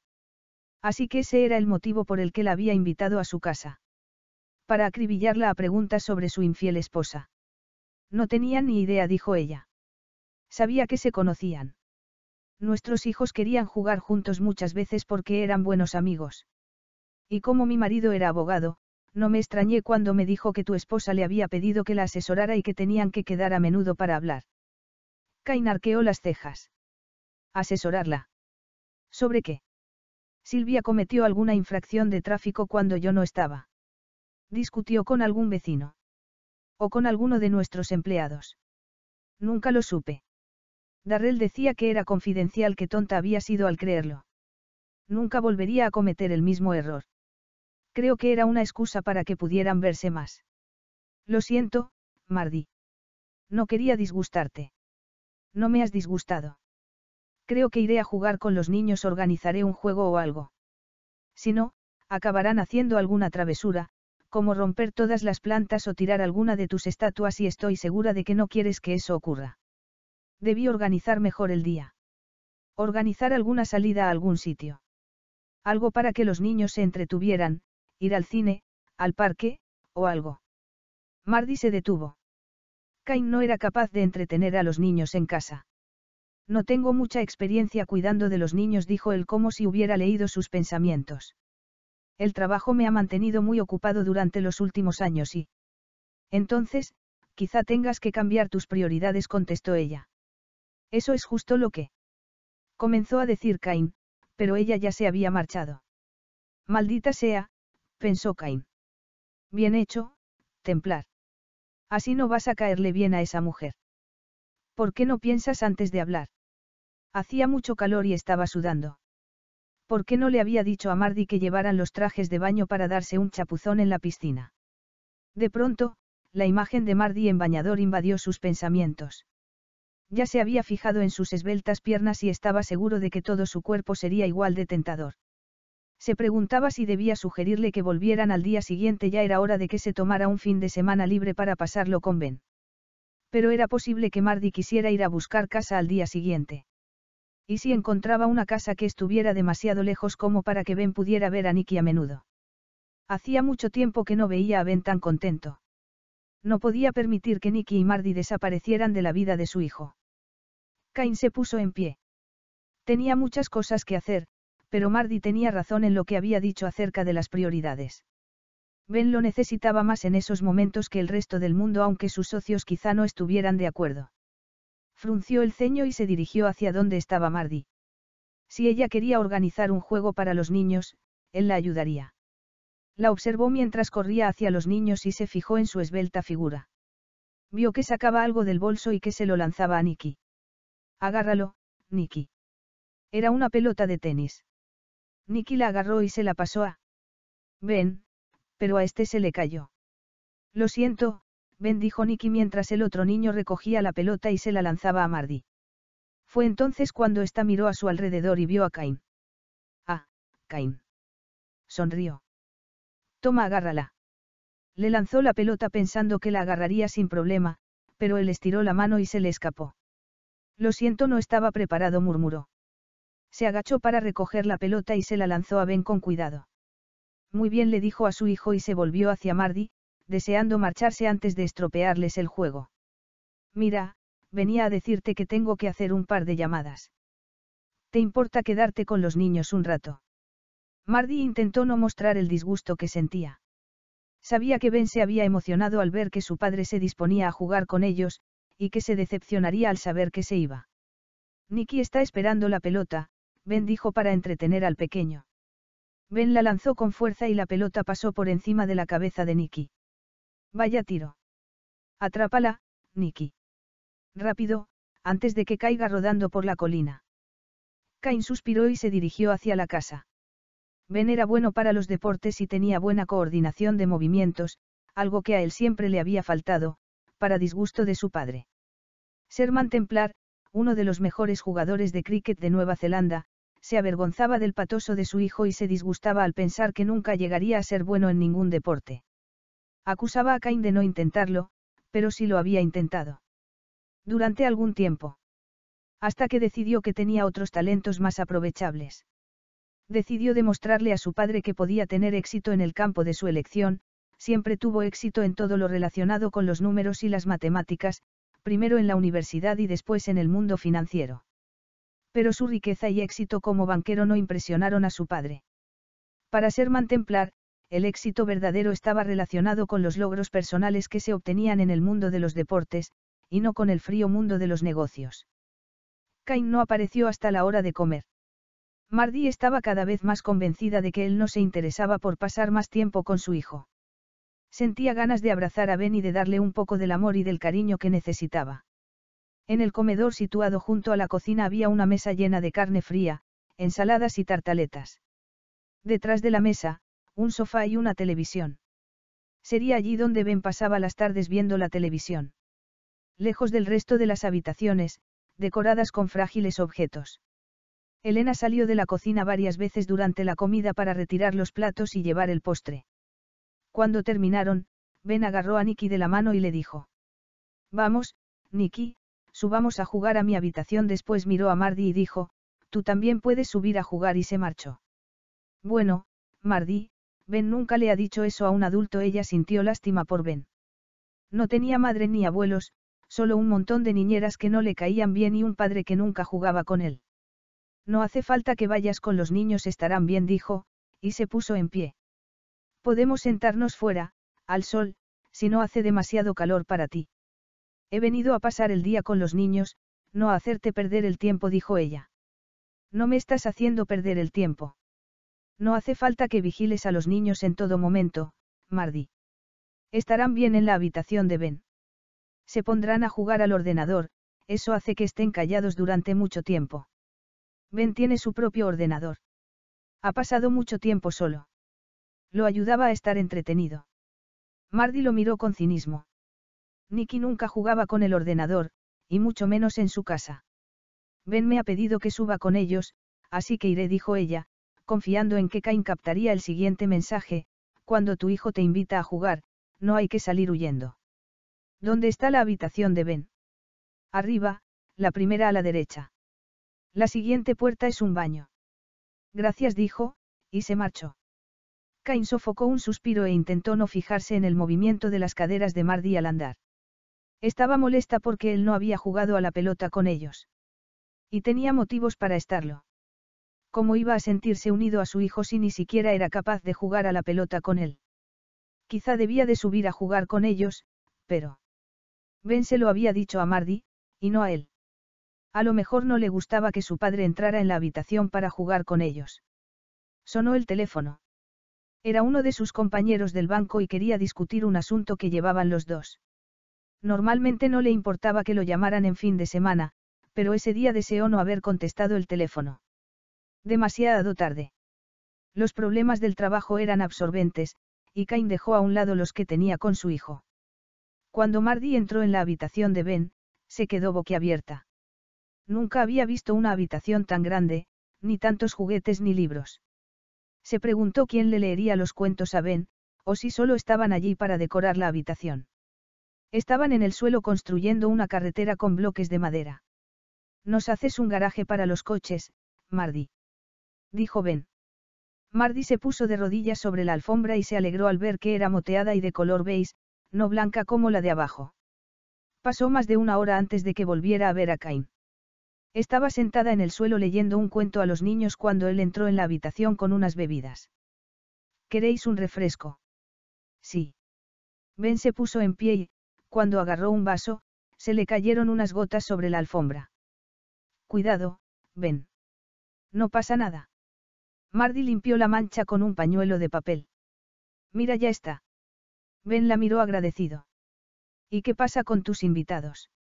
Le dijo su padre, y el niño le dio su vaso a Nicky antes de ir a por otro. ¿Y Mardi? Oh, no, gracias Mardi estaba de pie guardando el libro en su sitio. Miró el reloj y dijo. Tenemos que irnos. No os vayáis todavía, suplicó Ben, no podéis cenar aquí. Ella lo miró con una sonrisa. Tenemos que ir a casa para hacerle la cena al abuelo. Y darle de comer a Scots. Me gustaría tener un perro, dijo Ben. ¿Por qué no traéis a Scouts la próxima vez? La próxima vez podéis venir vosotros a casa, le dijo a Ben. Si a tu padre le parece bien. Pero mañana no añadió, tenemos que ir a buscar casa. Ojalá Nicky y tú pudierais vivir con nosotros. Mardi sintió unas ganas terribles de abrazar al pequeño, pero no podía. No debía. Quizá podéis venir pasado mañana, le dijo con una sonrisa. Me gustaría veros mañana.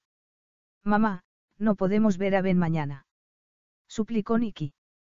El domingo no es un buen día para buscar casas. Dijiste que el domingo va todo el mundo a buscar casa. Mardi miró a los pequeños y después a Cain. Confiaba en que le dijera a los niños que no la molestaran más, y que se verían otro día. Sin embargo, él dijo. Tienes que ir a buscar casa. Mañana va a hacer más calor que hoy, según dice el hombre del tiempo. Nicky y tú podríais venir y daros un baño en la piscina. No importa que tu hijo no sepa nadar. Tú y yo estaremos vigilando. Tú y yo. Cain pensaba acompañarlos en la piscina.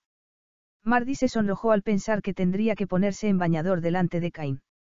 De veras, tengo que ir a buscar un sitio para vivir. El tiempo pasa y tendría que haber ido hoy. No es fácil encontrar un sitio con espacio suficiente para un niño, un abuelo y un perro grande, a buen precio, le faltó decir. Cain no dijo nada. Estaba pensativo y con el ceño fruncido. Vamos, Nicky dijo Mardi, y le quitó el vaso de las manos. Te echo una carrera por las escaleras, lo retó Ben. Tened cuidado. Gritó Mardi. No corráis por las escaleras, dijo Cain. No, papá dijo Ben entre risas. Cain se volvió y tocó el brazo de Mardi. Antes de que te vayas. Ella se detuvo y se fijó en que su mirada era muy seria. Tengo que hacerte una propuesta. No digas nada hasta que termine. Una propuesta. Mardi esperó en silencio. Supongo que has visto el apartamento que está al lado de mi casa, dijo Cain. Sí, y. Normalmente lo utilizamos para los invitados, aunque hubo un tiempo que tuvimos una chica interna y un jardinero, un matrimonio, que vivió allí hasta que se retiraron y se fueron al norte. Hizo una pausa. Ahora está vacío. Una pérdida de espacio. Puedes mudarte allí con tu familia si quieres, y... Ella no lo dejó terminar. No hay nada más que decir por un lado, no sería capaz de pagar el alquiler, y por otro, estaría demasiado cerca de Cain Templar. Además, dijiste que los niños se hartarían pronto el uno del otro. ¿Y qué pasaría entonces? Ahora que los he visto juntos, dijo Cain con calma, eso no me preocupa. Su amistad y el respeto que tienen el uno por el otro es de verdad. Estoy convencido de que durará. Y si se enfadan alguna vez, estoy seguro de que se les pasará pronto. Cain, no repitió ella. Más adelante, él le agradecería que no aceptara su oferta. Estoy pensando en mudarme a las afueras, donde la vida no sea tan cara, admitió. Ahora soy madre soltera y ya no puedo contar con el sueldo de mi marido cuando lo había hecho. Cain frunció el ceño. ¿Y qué pasaba con la pensión y el seguro de vida de su marido? Y con sus ahorros e inversiones. No le había dejado nada. No tendrías que pagar alquiler, le dijo, a cambio podrías hacer de niñera después del colegio, y la cena. Por supuesto, recibirías un buen sueldo por ello. Mardi sentía que la cabeza le daba vueltas. Un apartamento gratuito y un trabajo bien pagado. Se quedó sin habla. Estamos desesperados. Acabo de despedir a nuestra cocinera, lo hacía fatal. Y Elena no cocina. La comida de hoy es la mejor que sabe hacer. ¿Y crees que yo soy mejor cocinera? Solo me has visto cocinar una vez y se me quemó todo. Solo porque yo te entretuve en la puerta. Es evidente que eres capaz de preparar comida casera. El hecho de que tuvieras una tarta y un pastel en el horno hace que piense que eres mucho mejor cocinera que otras que he conocido. Confío plenamente en ti. Mardi se humedeció los labios. No puedes decirlo en serio. Tengo un niño de cinco años, un abuelo inválido y un perro. Un perro enorme. Hay mucho espacio para que el perro corra. Y el apartamento tiene tres habitaciones, una cocina amplia y un salón. Eso será suficiente para los tres, no. Te llevaré a verlo ahora. Mardi sabía que no debía aceptar la oferta de Cain, pero estaba desesperada y la oferta era muy tentadora. Cuando comenzara el colegio, Nicky podría asistir a la escuela pública, y por las tardes podría ver a Ben. Y mientras los niños estuvieran en la escuela, ella podría ir a trabajar al colegio de niñas. Tenía que pagar tantas deudas. Si voy a ver el apartamento. No le dirás nada a los niños. Quiero decir, no les digas por qué he ido a verlo. Se harán ilusiones y no o no. Suspiró. ¿Hay escaleras en el apartamento? Preguntó. Mi abuelo no puede subir escaleras. No hay escaleras, le aseguró Cain. Supongo que esos apartamentos están pensados para los abuelos. Puso una media sonrisa. Tendrás que guardar o vender la mayoría de tus muebles, la casa ya está amueblada. ¿Está amueblada? Preguntó Mardi. El banco estaba a punto de quedarse con los muebles de su casa. La idea de tener que reemplazarlos la tenía preocupada. Totalmente amueblada, dijo Cain. Había notado el brillo de los ojos de Mardi. Ella no quería los muebles de su casa actual. Se preguntaba por qué. Le recordarían a su marido. Debía de seguir amando a ese cretino, a pesar de lo que le había hecho. No había dicho ni una sola palabra en contra de él. Pero él tampoco había dicho nada en contra de Silvia. Y no tenía nada que ver con el amor. ¿Qué estaba haciendo? Porque quería implicarse aún más con la viuda del amante de su esposa.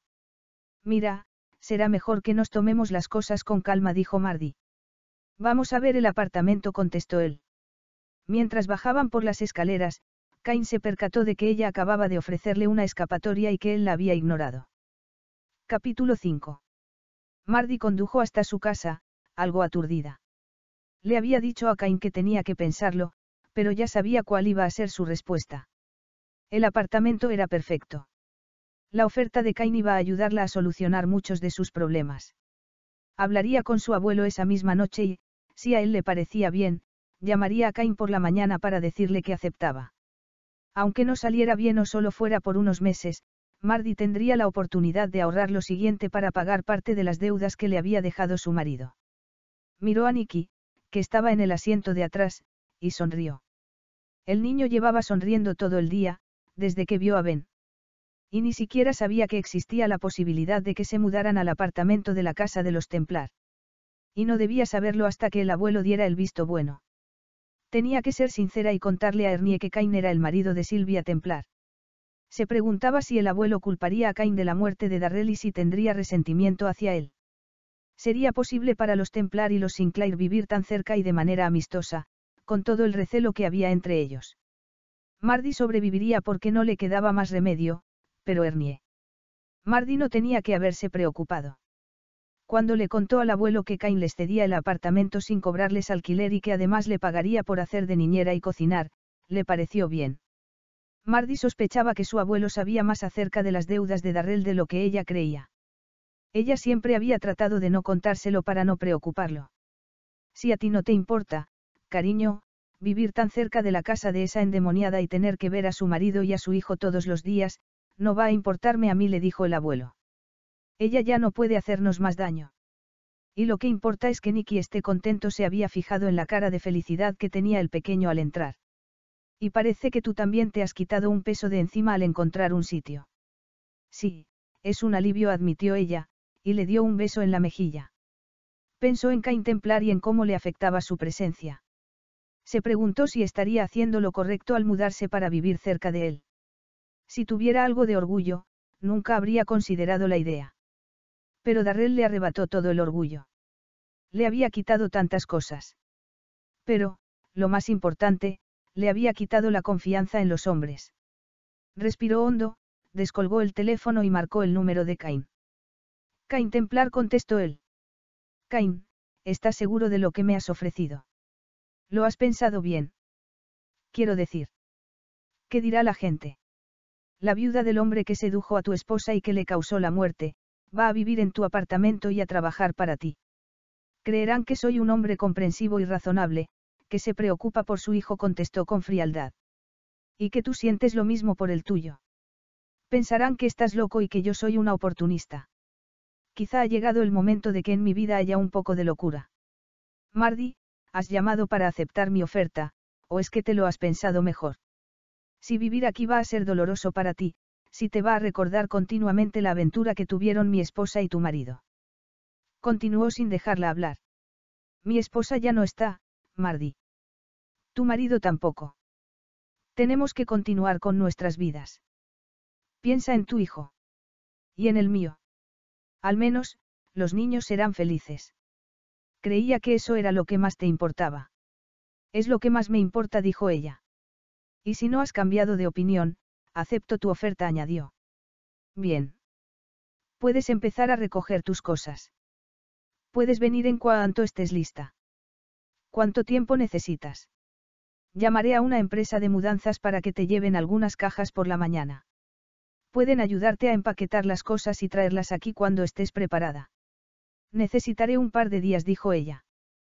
¿Te parece bien si nos mudamos el martes? Por mi bien. Puedes aparcar tu coche en mi garaje. Ahora solo tengo un automóvil. No has visto mi coche, dijo Mardi. No te importa si rebaja en valor a los del vecindario. Es apto para circular. Es seguro. Oh, es lo bastante seguro. Solo que viejo. Tiene un poco de óxido. Bueno, tendremos que ver cómo va. Si vas a llevar a mi hijo por ahí, quiero asegurarme de que va en un coche seguro. Yo no llevaría a mi hijo en un coche que no lo fuera.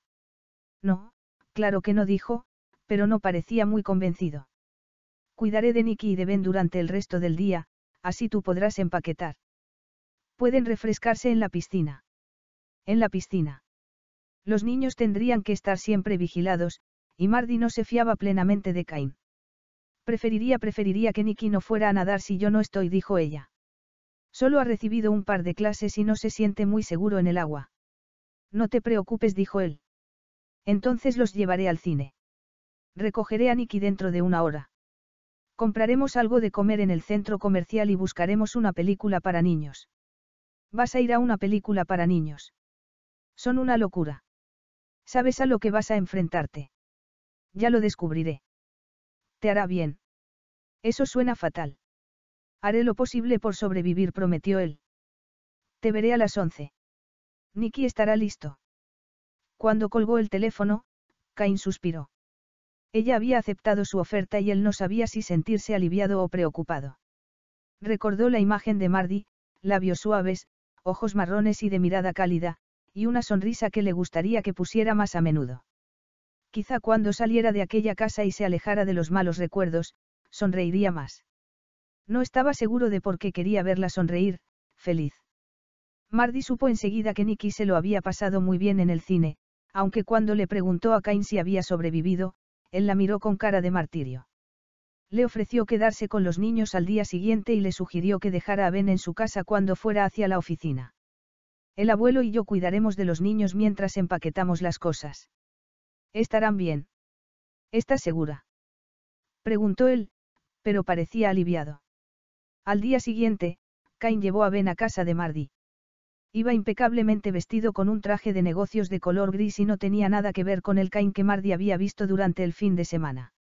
Le he dicho a Ben que se porte bien, dijo Cain. Tiene que hacer todo lo que le digas. Pasaré al mediodía y traeré un poco de pollo y patatas suficiente para todos vosotros. Mardi no pudo disimular su sorpresa. Darrell nunca se había ofrecido para llevar la comida del mediodía a casa en un día de trabajo. Intentó no pensar en ello. Iba a comparar a cada hombre que conociera con su derrochador marido. ¿Tendrás tiempo de venir? Preguntó. Haré tiempo, prometió. Y después lo estropeó. Si surge algo urgente en el trabajo, haré que alguien os traiga la comida. No prepares nada. No dijo ella. No haré nada sería capaz alguna vez de darle prioridad a su hijo aunque tuviera trabajo urgente. Fiel a su promesa, Cain les llevó la comida al mediodía, pero no se quedó a almorzar con ellos. Ben puede cenar con nosotros, si crees que no llegarás a casa hasta tarde, dijo Mardi. Solemos cenar temprano. No llegaré tarde. Unos amigos nos han invitado a cenar esta noche, pero gracias le dedicó una sonrisa y se marchó. Durante unos instantes, Mardi se quedó disfrutando del recuerdo de su presencia y de su sonrisa. Estaba segura de que era el tipo de hombre que se comportaba de manera encantadora con todas las mujeres. A las cinco de la tarde, Cain apareció de nuevo. Ella lo esperaba mucho más tarde. ¿Te han agotado? Le preguntó a Mardi. Mardi soltó una carcajada y se giró. Parecía agotada. Debía de tener la cara sudorosa y las mejillas sucias. ¿Y por qué no se había peinado y cambiado de camiseta antes de que él llegara? Cain debía de pensar que iba hecha un desastre. Los niños se han portado muy bien, dijo ella. He conseguido hacer muchas cosas. Voy a llamar a Ben. Cain la siguió con la mirada y se fijó en que se movía con gracilidad. Una mujer que no se da aires, pensó. Un buen cambio. Aquella tarde, Mardy recibió una llamada de Alan Ross, un profesor de Saint Marks. Debo disculparme, señora Sinclair, por no haberla llamado antes, pero acabo de regresar de las vacaciones. Quiero darle el pésame por la UM. Gracias, dijo Mardy. Estaba acostumbrada a que la gente no supiera cómo referirse a la muerte de Darrell. También quería recordarle que esta semana el colegio tiene un programa vacacional para los niños que comienzan las clases el lunes. Es una oportunidad para que se conozcan aunque muchos ya conocen a su hijo de la guardería. Ah, sí dijo ella. Gracias por recordármelo, señor Ross, pero pero me temo que Nicky no asistirá a Saint Marks este año. Pero su marido ya pagó las cuotas para todo el año. Él pagó por adelantado, el pasado noviembre. Mardy se quedó sin habla. Darrell había pagado las cuotas del colegio de Nicky. ¿Está seguro? Completamente. Pagó un año entero por adelantado, como ya le he dicho en metálico. En metálico. ¿De dónde había sacado Darrell ese dinero? Por eso no quedaba nada de saldo en las cuentas bancarias después de su muerte. Era el único gesto de generosidad que Darrell había tenido hacia su hijo. Así que permitirá que Nicky continúe en Saint Marks. Le preguntó el profesor. Y lo traerá al programa vacacional a partir de mañana. Sí, lo llevaré, dijo Mardy, y pensó en lo contento que se iba a poner. Nicky. Bueno, me alegra saberlo, dijo el señor Ross. Ven, el amigo de Nicky, también vendrá mañana. Acabo de hablar con su padre. Así. Claro, el profesor de Ben había llamado a Cain para darle el pésame. Los Templar y los Sinclair compartían la misma tragedia. Suponía que Cain se alegraría de tener a Ben ocupado durante todo el día. Ya no tendría que tomarse el día libre para vigilar a los niños mientras ella hacía la mudanza. Cain sí se tomó el día libre. Como no tenía que cuidar de los niños, ayudó a Mardi a desempaquetar las cosas cuando llegó el camión de la mudanza. El abuelo se quedó en la casa antigua para cuidar de Scott y para que hubiera alguien cuando el banco fuera a recoger los muebles. ¿Cuánto te debo? Le preguntó Mardi al hombre de la mudanza. Esa mañana había pasado por una casa de cambio para entregar una pulsera de perlas, era el regalo de graduación que le hizo su abuelo. Ya había vendido el anillo de boda y el de compromiso. Nada, señora. Yo le debía un favor al señor Templar. Pero a mí no me debe un favor. ¿Cuánto es, por favor? Nada. Está todo arreglado. Adiós, señora. No había nada que ella pudiera hacer, excepto buscar a Cain. Lo encontró en la parte trasera, colocando la caseta de Scots. Mardy se fijó en su musculoso cuerpo en movimiento. Era muy sexy. Scots puede dormir aquí por la noche, pero este patio es muy pequeño para tenerlo todo el día aquí metido.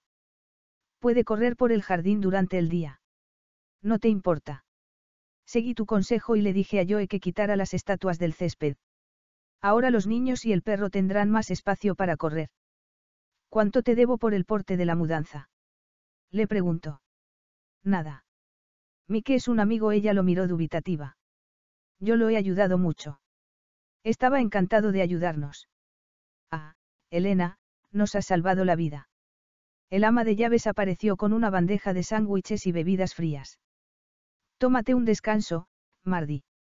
Tengo que ir a decirle una cosa a Joe Kain agarró un sándwich y una lata de bebida, y se marchó. ¿Sería cierto, o era solo una excusa para evitarla?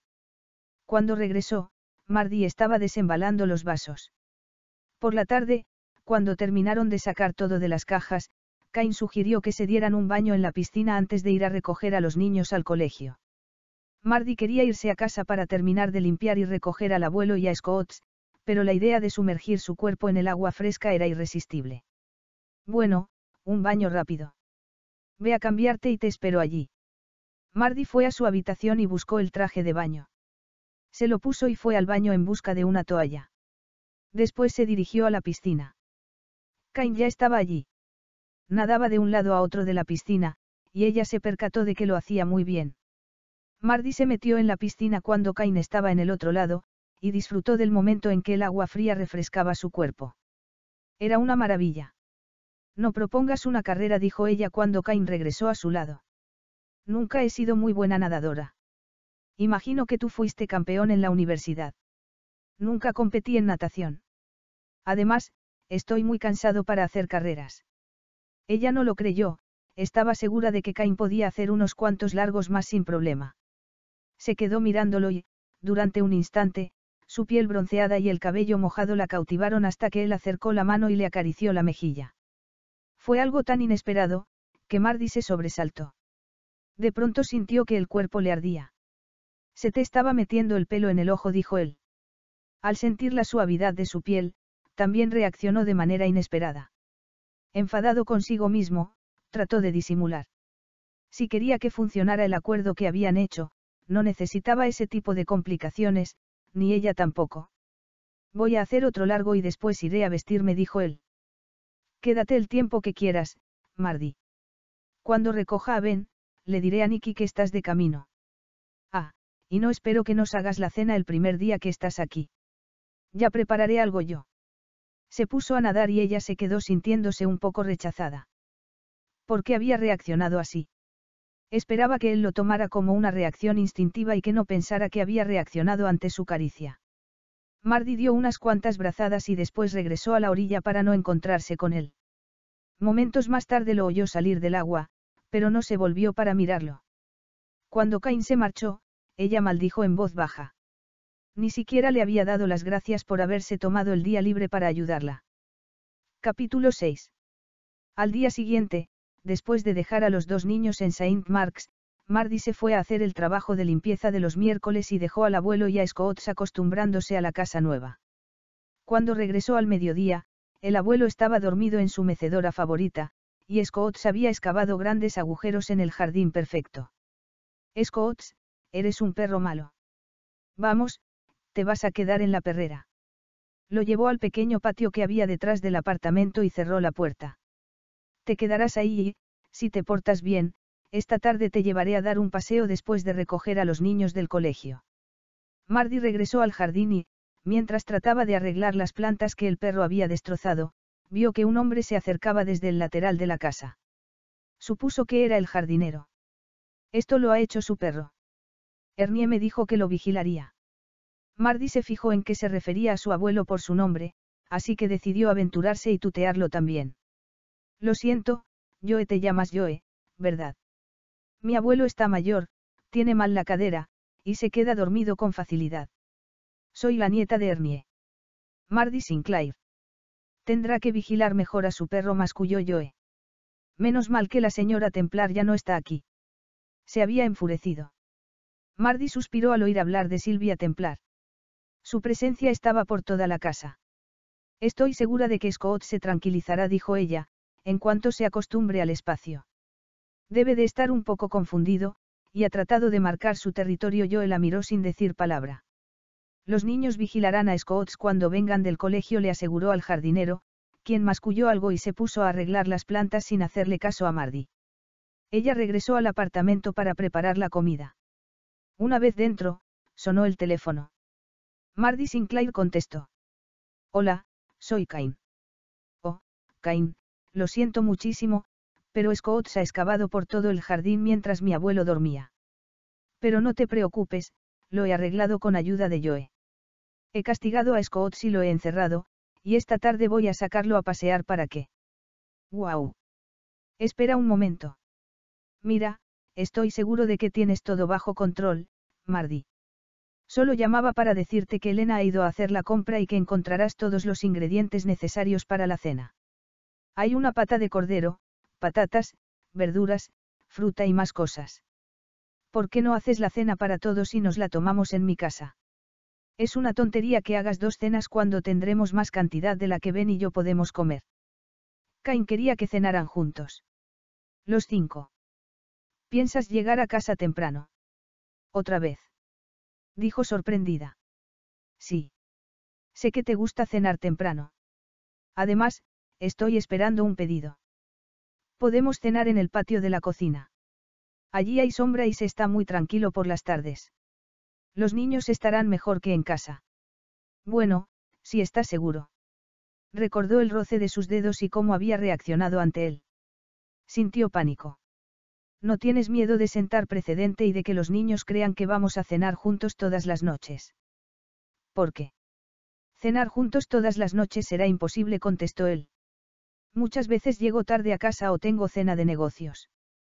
Pero, puesto que tú cuidarás de Ben cuando yo no esté, le recordó, puede que tenga que pedirte que le des de cenar y que lo acuestes en esas ocasiones. Le estaba recordando que solo era su cocinera y la niñera de Ben. ¿Y qué hay de tu cena? Cuando llegues tarde, me refiero, preguntó ella. Tomaré algo de camino a casa a menos que salga a cenar. O me calentaré las sobras en el microondas cuando llegue.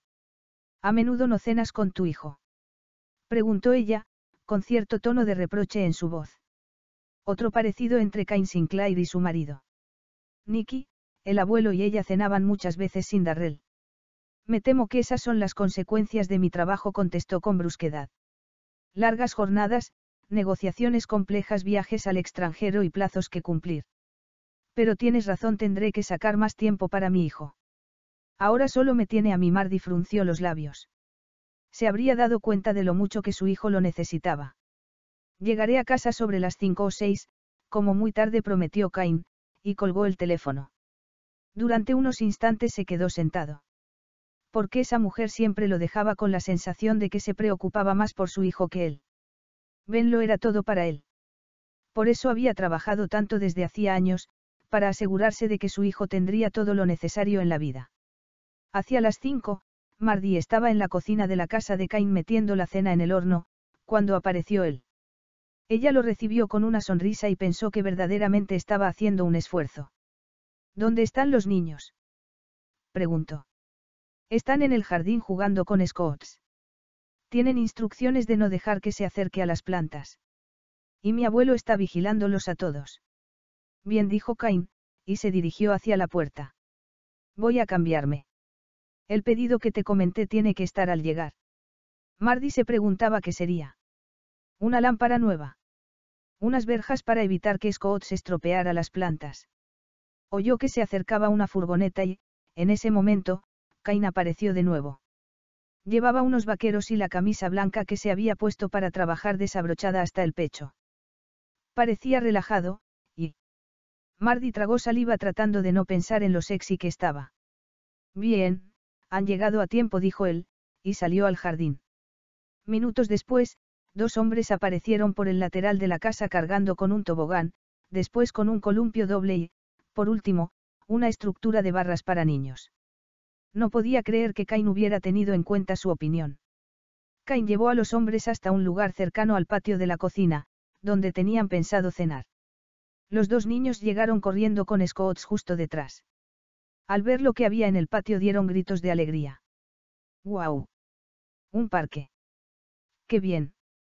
Mardi vio que Ben miraba a su padre con incredulidad y sintió un dolor en el corazón.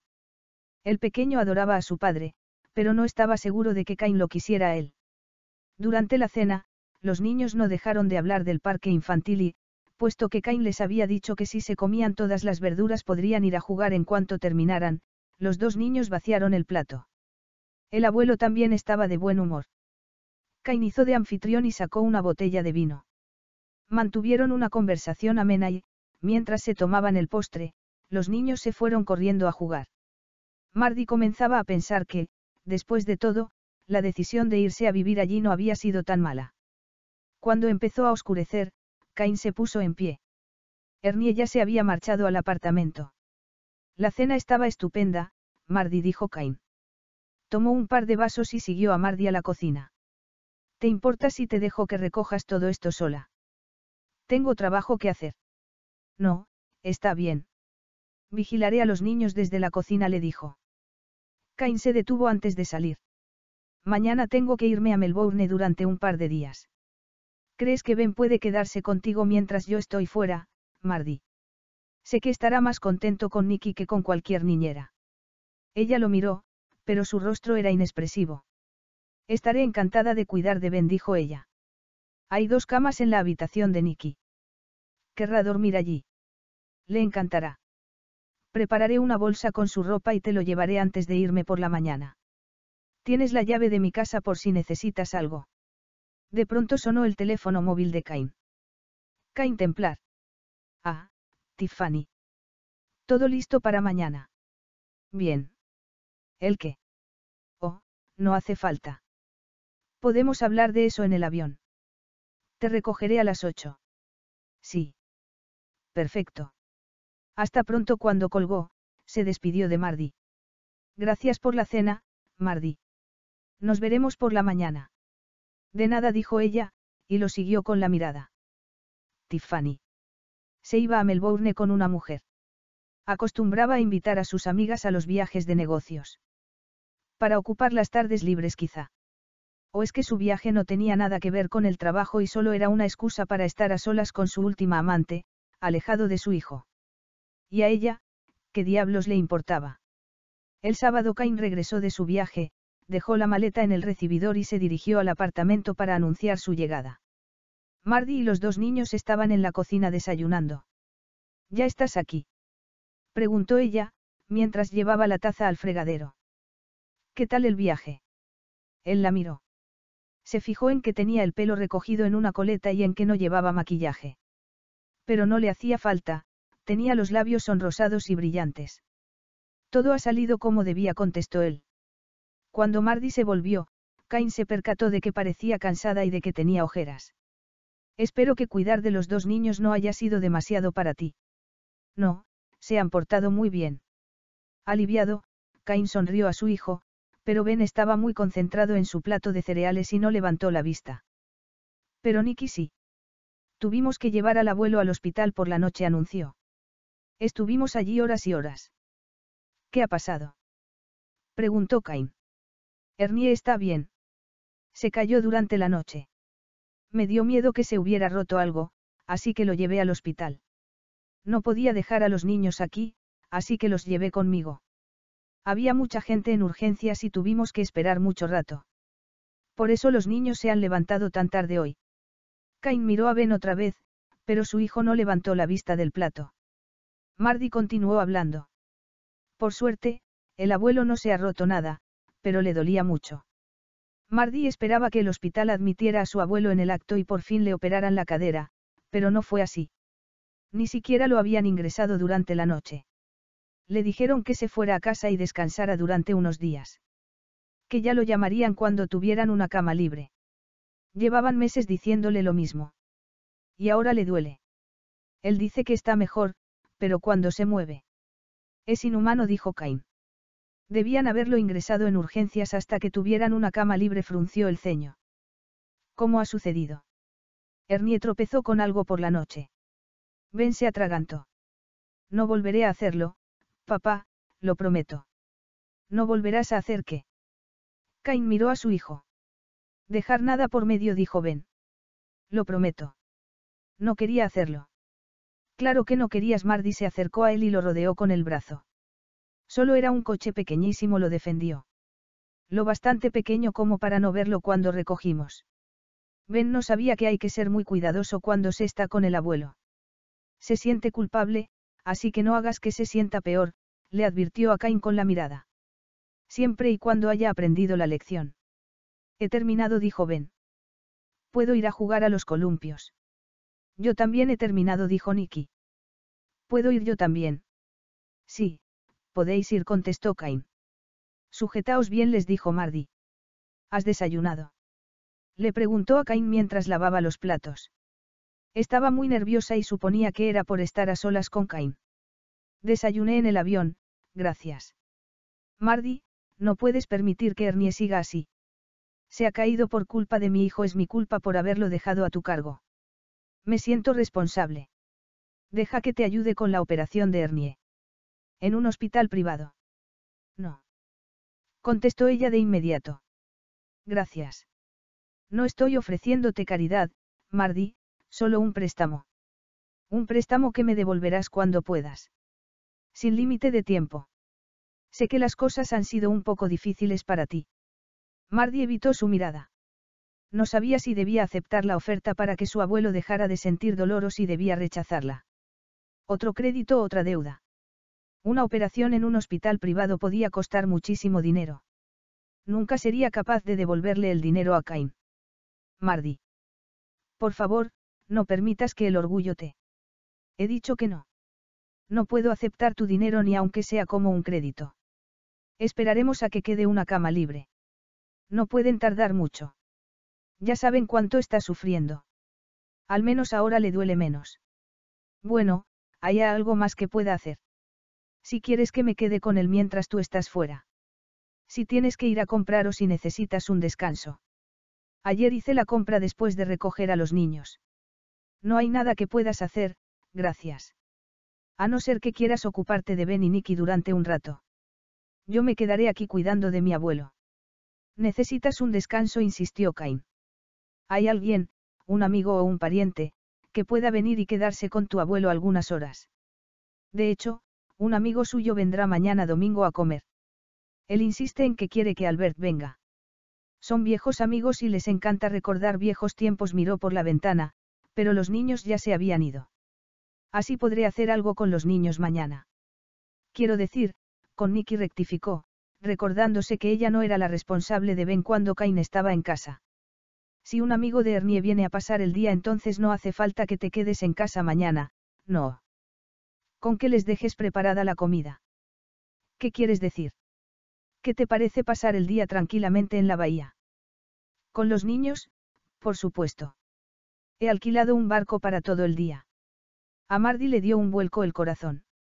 El plan sonaba de maravilla. Es una especie de celebración, le explicó él. Los socios de mi banco y sus familias van a reunirse para celebrar una fusión que hemos cerrado en Melbourne. En Melbourne. Así que, efectivamente, había ido de viaje de negocios. Mardi sonrió, aunque por dentro no se sentía tan bien. No la había invitado solo a ella y a los niños, sus socios también estarían allí. Por tanto, la idea de pasar un día a solas con Cain y los niños se evaporó. No tienes por qué invitarnos a Nicky y a mí. No conocemos a nadie. Los conoceréis al final del día.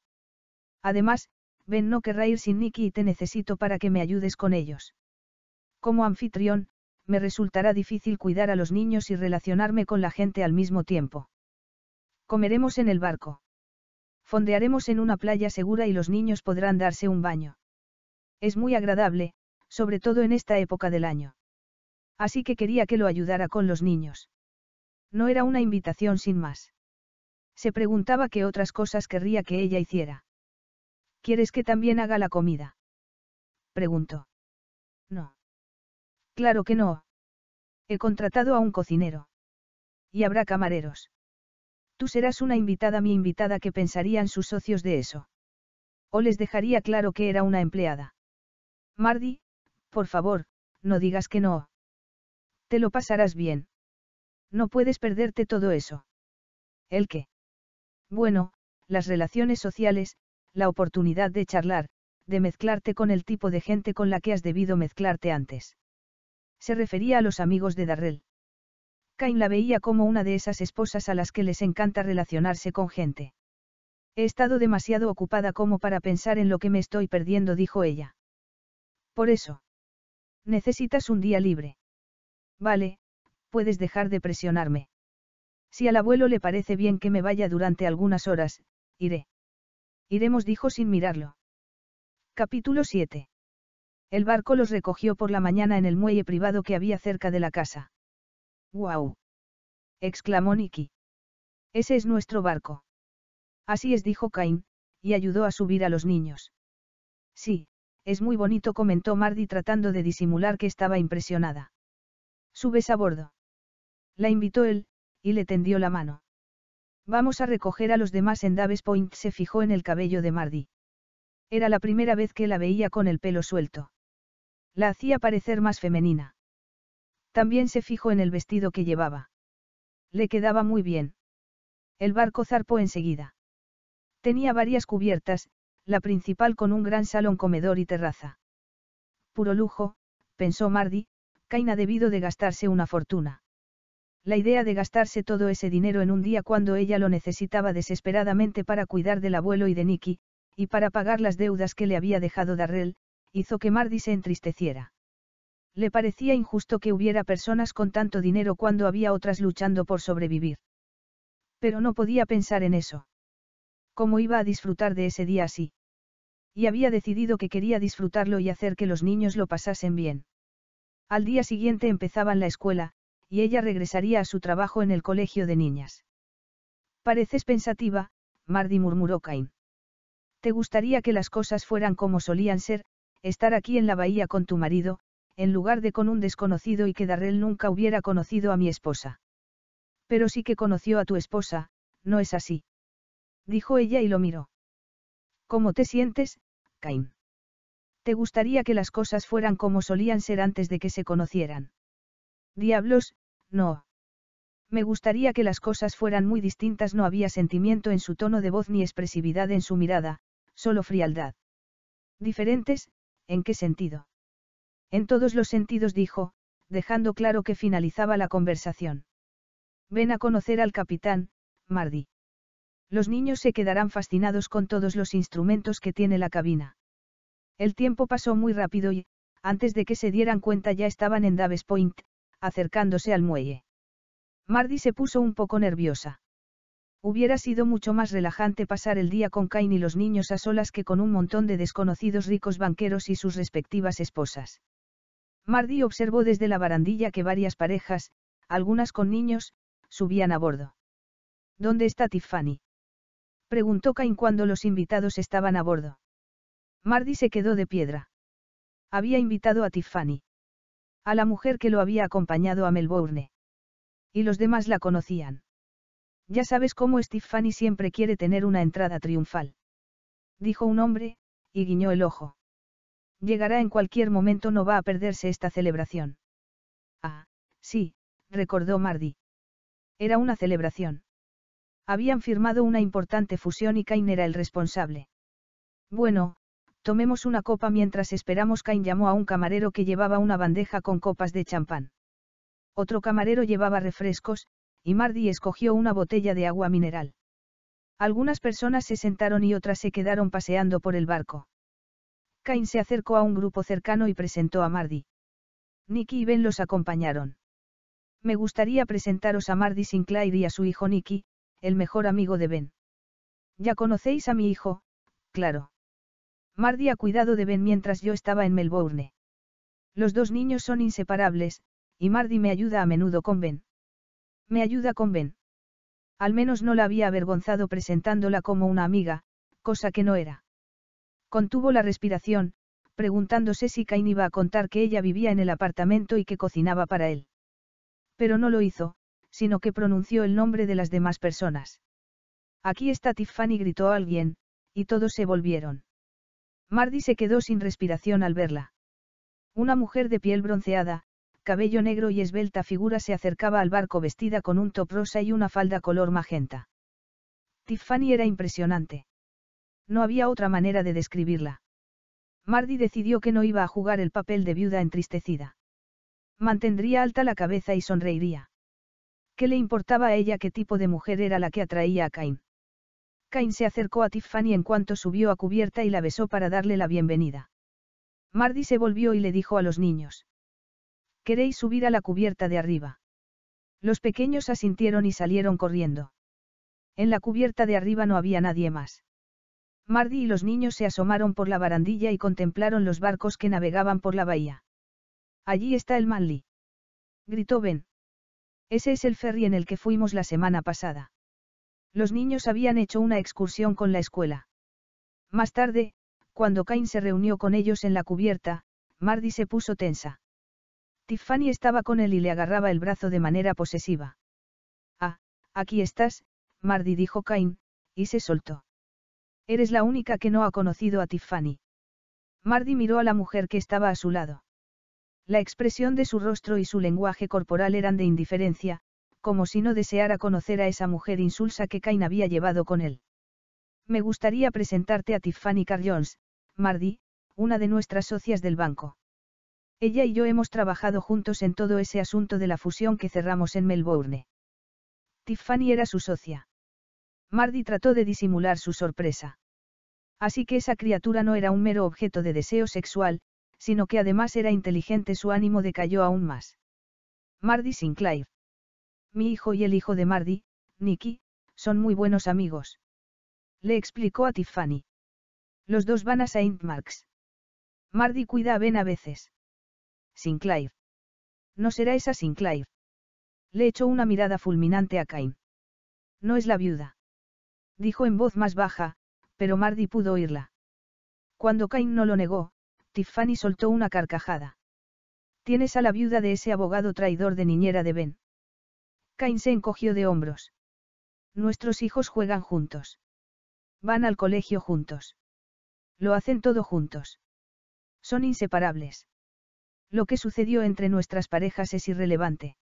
Si vuestros hijos son inseparables y ella es la niñera, os veréis muy a menudo. ¿Vivís cerca? Cain frunció el ceño. No le gustaba que lo interrogaran. Mardy y su familia han alquilado mi apartamento. Alquilado, pensó Mardy. Así que no iba a contarle la verdadera situación, que sentía lástima por la pobre viuda y que no le cobraba alquiler. Intentaba ser delicado para no herir sus sentimientos. O evitaba quedar en ridículo. Bien para ellos dijo Tiffany, pero Mardy sentía que iba con segundas. Como vive en el apartamento, a Mardy le viene bien cuidar a Ben y también cocina para nosotros. Es un buen arreglo. Ah. Bueno, me alegro de que hayas encontrado una niñera y cocinera de confianza, Cain miró a Mardy de arriba abajo. Debes de estar más tranquilo ahora que sabes que tu hijo está bien cuidado cuando tú no puedes atenderlo. Mardy se volvió y, al ver a Ben, gritó. Ben, bájate de ahí. Salió corriendo. No vuelvas a subirte a la barandilla. Lo riñó mientras lo bajaba. Cain corrió a su lado. Ven, ¿sabes cuáles son las normas de seguridad que hay que cumplir en un barco? Lo siento, papá. Me estaba agarrando muy fuerte. No importa. ¿Y si Nicky intenta imitarte y se cae por la borda?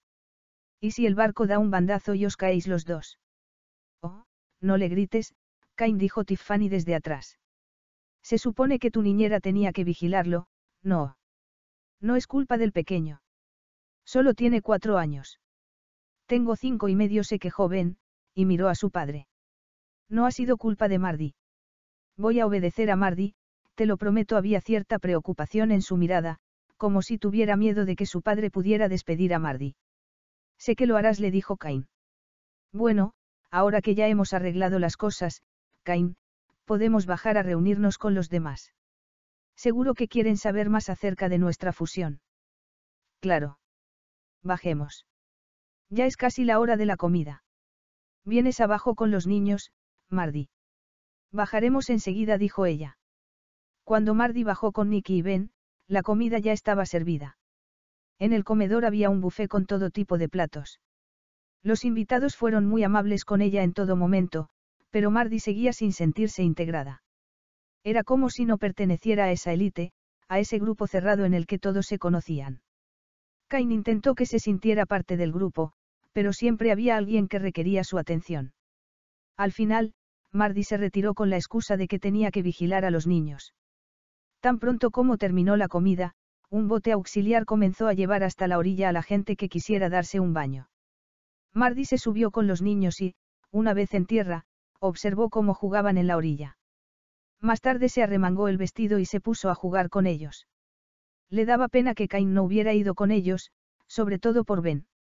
Pero claro, Cain estaba muy ocupado atendiendo a los invitados y dejándose agasajar por sus colegas y por Tiffany.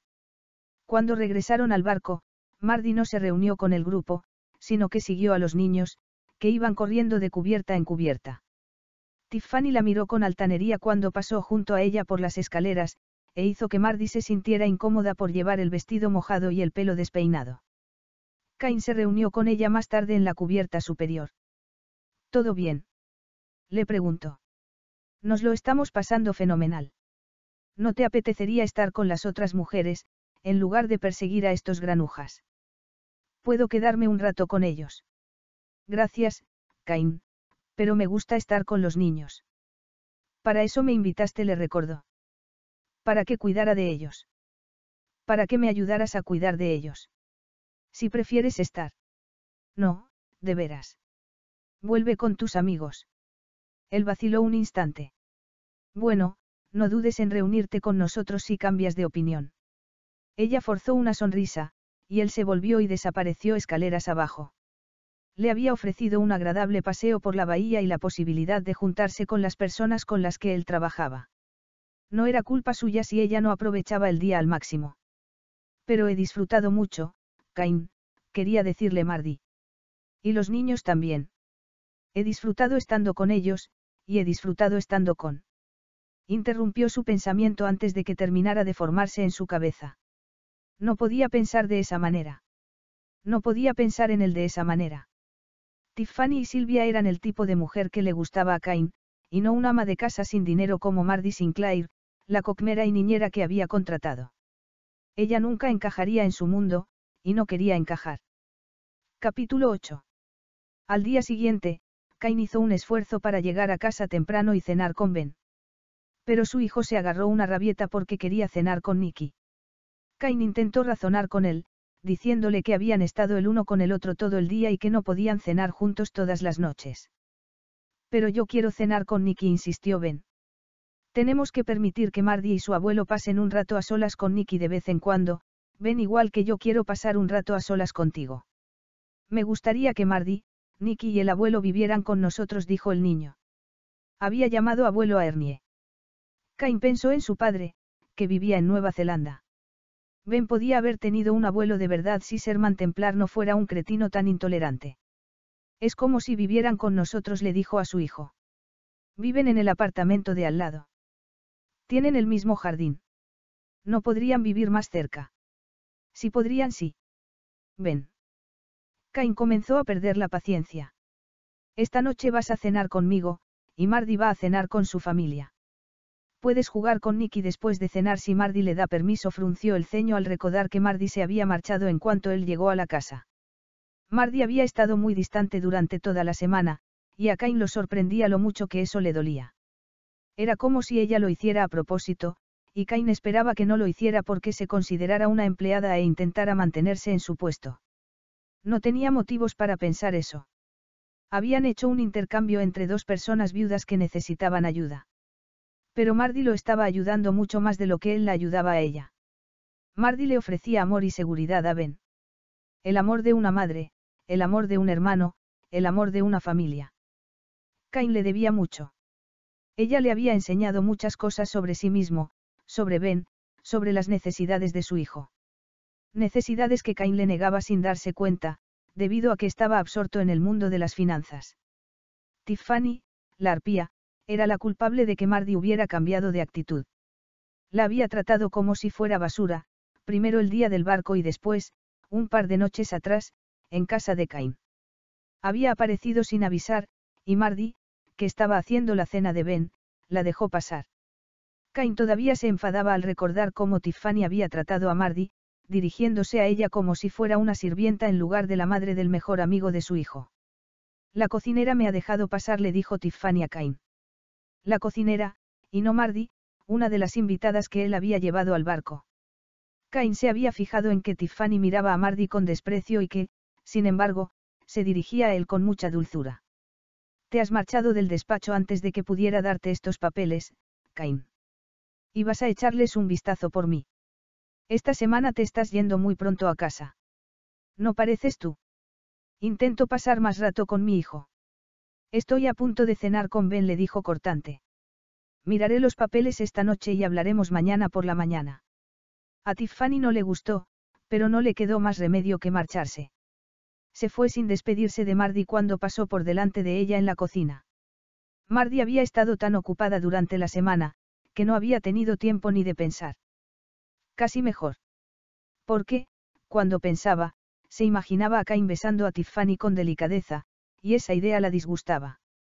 Cada mañana llevaba a los niños al colegio, después se iba a trabajar, recogía a los niños y hacía la compra de camino a casa. Nada más llegar iba a ver cómo estaba el abuelo, que aunque intentaba disimular el dolor, sufría muchísimo, sobre todo por las noches. Cuando llegaba la hora de acostarse, estaba agotada. Sabía que, en parte, era a causa del estrés y las preocupaciones. La preocupaba la salud de su familia y poder llegar a fin de mes, y se estresaba tratando de evitar a Cain. Era difícil evitarlo, ya tenía que cocinar para él y, por las noches, tenían que separar a sus hijos para que se dieran un baño y cenaran cada uno en su casa. Esta semana no, Ben le decía Mardi al pequeño cuando éste trataba de convencerla para que cenaran juntos. Nicky tampoco se quedaba contento. ¿Por qué no podemos cenar juntos? ¿Por qué no podemos cenar como si fuéramos una familia? Como una familia. Mardi sintió que se le encogía el corazón. ¿Por qué no somos una familia, Nicky? Ben tiene su casa y tú tienes la tuya. Debes permitir que Ben y su padre pasen tiempo a solas. Igual que el abuelo y yo queremos estar solos contigo a veces. Ya ves bastante a Ben durante todo el día. Ben no quiere estar solo con su padre. Ben y yo queremos vivir juntos. Dijo Nicky. Queremos ser hermanos. Bueno, pues no podéis vivir juntos si no sois hermanos, soltó ella. Tendréis que contentaros con ser mejores amigos. El viernes Mardi ya no podía más. Nicky llegó del colegio con dolor de garganta y con las gafas rotas. Después de meterlo en la cama y de mandar a Ben a jugar al jardín con Scouts para que no se contagiara, llamó a la óptica para encargar otro par de gafas. Eso sí, no sabía cómo iba a pagarlas. Después miró el buzón.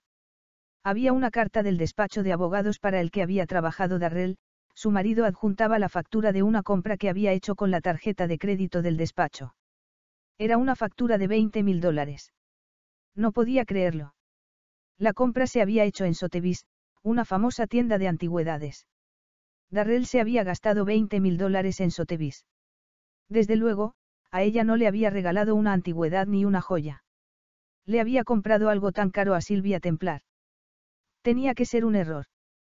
Mardi sacó la guía de teléfonos y llamó a la tienda. Le dijeron que Darrell había comprado un jarrón Lalique. ¿Y dónde estaba el jarrón? En algún lugar de la casa de Cain, entre los otros objetos de arte. Lalique. Esa palabra la había oído hacía poco. De pronto recordó que el día del accidente había aparecido una caja llena de cristales en el coche de Darrell, y que se creía que era cristalería Lalique. Darrell debía de habérsela regalado a Silvia durante el fin de semana que pasaron en Blue Mountains. Mardy se tapó la cara con las manos. ¿Cómo diablos iba a conseguir esos 20 mil dólares? Mamá. La llamó Nicky desde su habitación. Tenía fiebre, le dolía el oído y tenía los ganglios del cuello hinchados. Otra vez amigdalitis. Tendría que llamar al médico y que comprar antibióticos. Más gastos. Mardy se preguntaba si por fin el médico mandaría a Nicky al hospital para que le quitaran las amígdalas, pero no fue así. El médico le dijo que había huelga de enfermeras, que habían cerrado muchas camas de los hospitales públicos y que Nicky tendría que esperar. Tendremos que darle antibióticos y esperar lo mejor. Mardy asintió, y agarró la mano de su hijo mientras el médico le ponía una inyección. Ahora intenta dormir, le dijo cuando el doctor salió de la habitación. Yo estaré contigo. Al menos ese día no tenía que cocinar para Cain, porque Ben y él estaban invitados a casa de unos amigos. Cain pasó por el apartamento de Mardy antes de irse a cenar. Ben me ha dicho que Nicky está enfermo, Mardy, y que ha venido el médico. Ella se aclaró la garganta para intentar hablar con normalidad. Tiene amigdalitis. El doctor le ha puesto una inyección. ¿Qué faena? dijo Cain. Se fijó en que Mardy estaba pálida y demacrada, como si ya no pudiera más. ¿Te encuentras bien? Por supuesto que estoy bien, dijo ella. Nicky se pondrá mejor, Mardy Cain dio un paso hacia adelante y ella dio un paso atrás. La inyección le hará efecto enseguida. Lo sé. Estará bien en un par de días. Mardy se percató de que respiraba muy rápido y trató de calmarse para que Cain no se diera cuenta. ¿Hay algo que pueda hacer? Preguntó Cain. No, gracias se esforzó en decir. Nicky está durmiendo, no podía mirar a Cain. Cain, tengo montones de cosas que hacer. Por supuesto. Lo siento, Mardy. Mira, no llegaremos muy tarde, si se te ocurre algo que podamos. Estaremos bien. Que lo paséis estupendamente, le dijo a Ben, y no a su padre. Cuando se marcharon, se apoyó en la puerta durante un instante y respiró hondo. Tenía que tranquilizarse porque, si se desmayaba, ¿quién cuidaría del abuelo y de Nicky? Pero ¿cómo iba a solucionar el nuevo problema? Mardy no podía dormir. Ya era casi por la mañana y se había levantado varias veces para ver cómo estaba Nicky y qué podía hacer por el abuelo, a quien oía gemir en la cama. Le había dado unos analgésicos y una crema para el dolor, pero apenas le habían hecho efecto. Hacía mucho calor, y Mardy permaneció acostada maldiciendo a su marido por haber permitido que caducara el seguro médico que tenían, y por dejar a su familia endeudada. No era justo. Con el dinero que Darrell se había gastado en el jarrón, ella podía haber pagado la operación de Nicky y quizá la del abuelo también. ¿Qué diablos iba a hacer? Salió de la cama y se puso el bañador. Agarró una toalla y salió del apartamento. La ventana de Nicky estaba abierta de par en par, así que si el niño la llamaba, ella lo oiría. Se dirigió a la piscina y se quedó en el borde durante un momento, contemplando el reflejo de la luna. Respiró hondo y se zambulló en la parte profunda. Era tan agradable sentir el frescor del agua sobre su cuerpo, que no quería salir. De pronto sintió que alguien la agarraba y tiraba de ella. Sintió el pecho de alguien contra su espalda, y que unos brazos grandes rodeaban su cuerpo. Sacó la cabeza para respirar y trató de zafarse. Suéltame. De ninguna manera. Quédate quieta. Era la voz de Cain. ¿Qué diablos estás haciendo?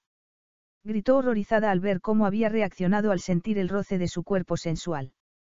Evitar que hagas una tontería. Ella lo miró alucinada. ¿Qué había de malo en darse un chapuzón a mitad de la noche? Cain la subió por la escalera de la piscina y la dejó en el borde. Pero no la soltó. Se agachó para recoger la toalla, la envolvió en ella y la abrazó. Ella lo miró, pero él habló primero. Me has dado un susto de muerte. Creías que era un intruso. Susurró ella, y se preguntó por qué ya no trataba de liberarse. Era una locura. Cain estaba casi desnudo. No, no creía que fueses un intruso, se movió un poco, como si estar tan cerca de ella lo hiciera sentir incómodo. Mardy sintió cierta presión sobre su piel. Sería que Cain la deseaba de verdad. Te vi desde la terraza. No podía dormir y salí a respirar un poco de aire fresco. Cuando vi que ibas hacia la piscina, decidí acompañarte. Pero no venías a darte un baño conmigo, lo acusó. Me sacaste de la piscina como si creyeras que no debía estar aquí. Me dijiste que podía utilizarla cuando quisiera. Lo recuerdo. Y me arrepentí de habértelo dicho cuando vi que te zambullías y que no salías. ¿Quieres decir que creías que me estaba ahogando y que te has tirado para salvarme? Estúpido de mí, ¿verdad? Está claro que no querías que te salvaran. ¿O has cambiado de opinión? ¿Te das cuenta de lo que le habrías hecho a tu abuelo y a tu hijo si te ahogas? Y a Ben y a mí. Ella lo miró. ¿De qué estás hablando? ¿Crees, crees que estaba tratando de... Bueno, y no era así. La agarró de la barbilla para que lo mirara. Bien, ¿qué estado estabas esta tarde? Está claro que algo no va bien. Si es algo que no podía solucionar sola, ¿por qué no me has pedido ayuda? Mardi no sabía si llorar o reír. Ya basta, Cain. No estaba intentando ahogarme. Solo quería refrescarme, eso es todo. Lo siento si te he asustado. Asustarlo. Lo había enfadado. Porque había dicho, piensa en lo que nos habrías hecho a Ben y a mí, como si a él le importara. Porque pensaba que ella iría a contarle sus problemas. Perdona si he reaccionado de manera exagerada. Cain no entendía nada. Nunca había reaccionado de esa manera. ¿Y por qué diablo seguía sujetándola? El deseo se estaba apoderando de su cuerpo y sentía un intenso calor en la entrepierna. Es puro instinto animal, idiota, pensó. Solo que era diferente, porque ella era diferente a las otras mujeres que había conocido. Mardi lo había asustado. Eso era todo. Había algo que la tenía preocupada. Cain lo sabía y no había sido capaz de pensar en otra cosa durante toda la tarde. Por eso no podía dormir. Tenía que averiguar qué le pasaba, pero tenía que hacerlo con cuidado. Ben me ha dicho que Nicky no fue a las clases de natación el otro día y que se quedó contigo. Le dolía la garganta, contestó ella. No estaba dispuesta a admitir que no podía pagar las clases. El miércoles no le dolía, dijo Cain, y sintió que ella se ponía tensa entre sus brazos. Estaba bien como para chapotear en la piscina pequeña. Sí, bueno, solo estaba siendo precavida. Para que no se cansara demasiado Mardi alzó la barbilla. Y ahora que está enfermo, no irá a nadar hasta dentro de algún tiempo, ni le sacarán las amígdalas tampoco, gracias a Darrell. Las lágrimas afloraron a sus ojos y Mardi pestañeó para contenerlas. De pronto se dio cuenta de que todavía estaba entre los brazos de Cain, y dijo. Será mejor que me vaya. A lo mejor Nicky me está llamando. Capítulo 9. Mardi, no puedes enfrentarte a esto tú sola sea lo que sea la voz de Cain era dulce y seductora. Debes confiar en mí. Mardi se estremeció. Como deseaba poder confiar en él. Descubrí que es mejor depender de uno mismo que los demás, dijo ella con frialdad. Prueba conmigo, sus ojos brillaban a la luz de la luna. Cain la guiaba hacia la casa y, cuando pasaron la verja de la piscina, hizo que Mardi se volviera para mirarlo. Es por Nicky y Ernie, ¿verdad? Estás preocupada porque los dos necesitan una operación y nunca se la hacen. Te estás desesperando porque sientes que no puedes hacer nada por ellos. Mardi sintió que la rabia se apoderaba de ella. Cain no podía comprender lo que era estar desesperado un hombre con tantos millones. Y no solo era Nicky y el abuelo, también esa horrible deuda. Comenzó a temblar. Ocurre algo más, ¿verdad? La miró fijamente. Tienes serios problemas económicos. Eso es lo que te preocupa de verdad, me equivoco.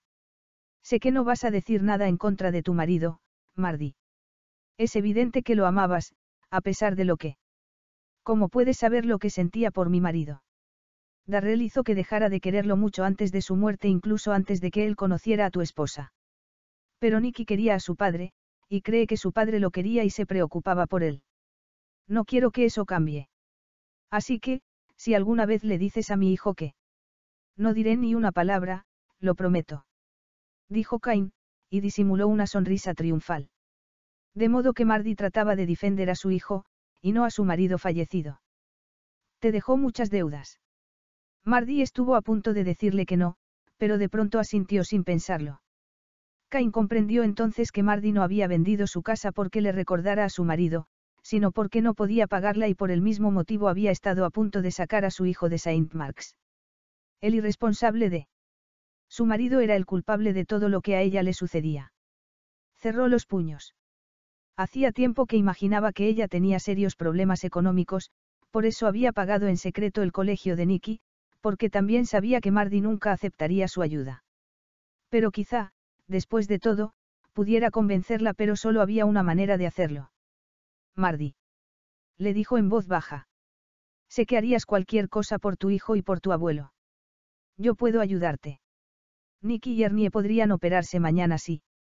Si yo aceptase tu caridad. Mardi habló con ironía, para ocultar el dolor que sentía al tener que rechazar su oferta. Nicky es como mi segundo hijo, Mardi. No sería caridad si fuera mi hijo legalmente hablando. ¿Quieres adoptar a mi hijo y apartarlo de mí? Preguntó con ira. ¿Tan desesperado estás por mantener a Nicky y a Ben unidos? No, Mardi.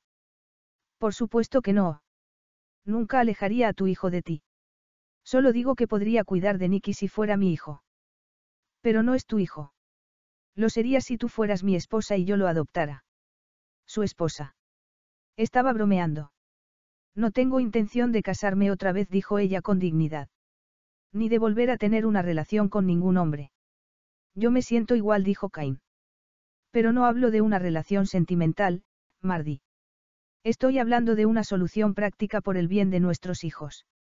Quiero que Benjamín tenga una madre, y tú eres la madre que él desea tener.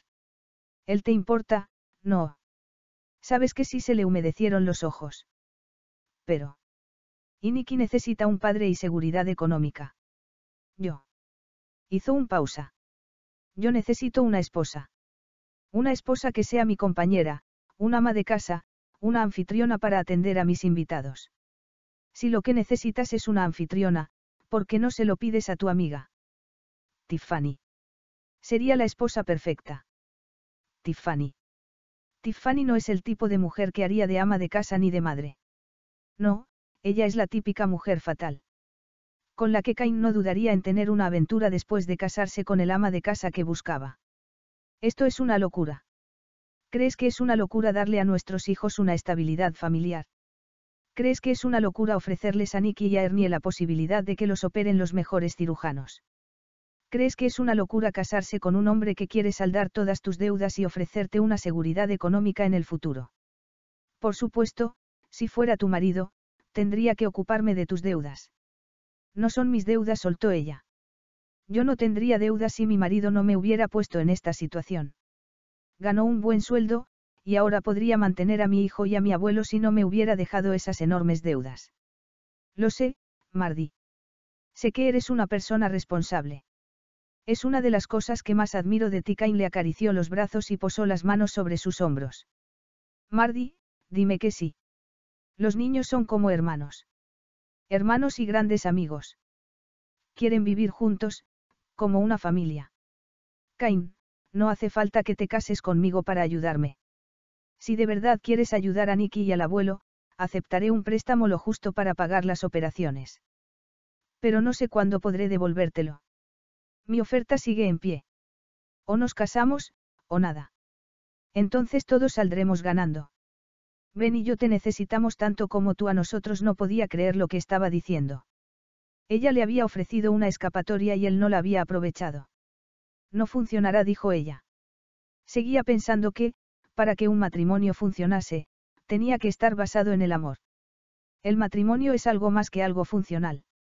Estoy de acuerdo contigo, dijo Cain, e inclinó la cabeza y la besó. El roce de sus labios provocó que una ola de calor recorriera el cuerpo de Mardi. Qué los besos de Darrell nunca habían sido como aquel. Sintió que se le aceleraba la respiración y notó que Cain le acariciaba la espalda con suavidad. Durante un instante, deseó que la tumbara sobre la hierba y que sus cuerpos se fundieran en uno solo. ¿Lo ves? Hay química entre nosotros. Es mucho más de lo que tienen otras parejas, dijo él, sorprendido por todo lo que había sentido.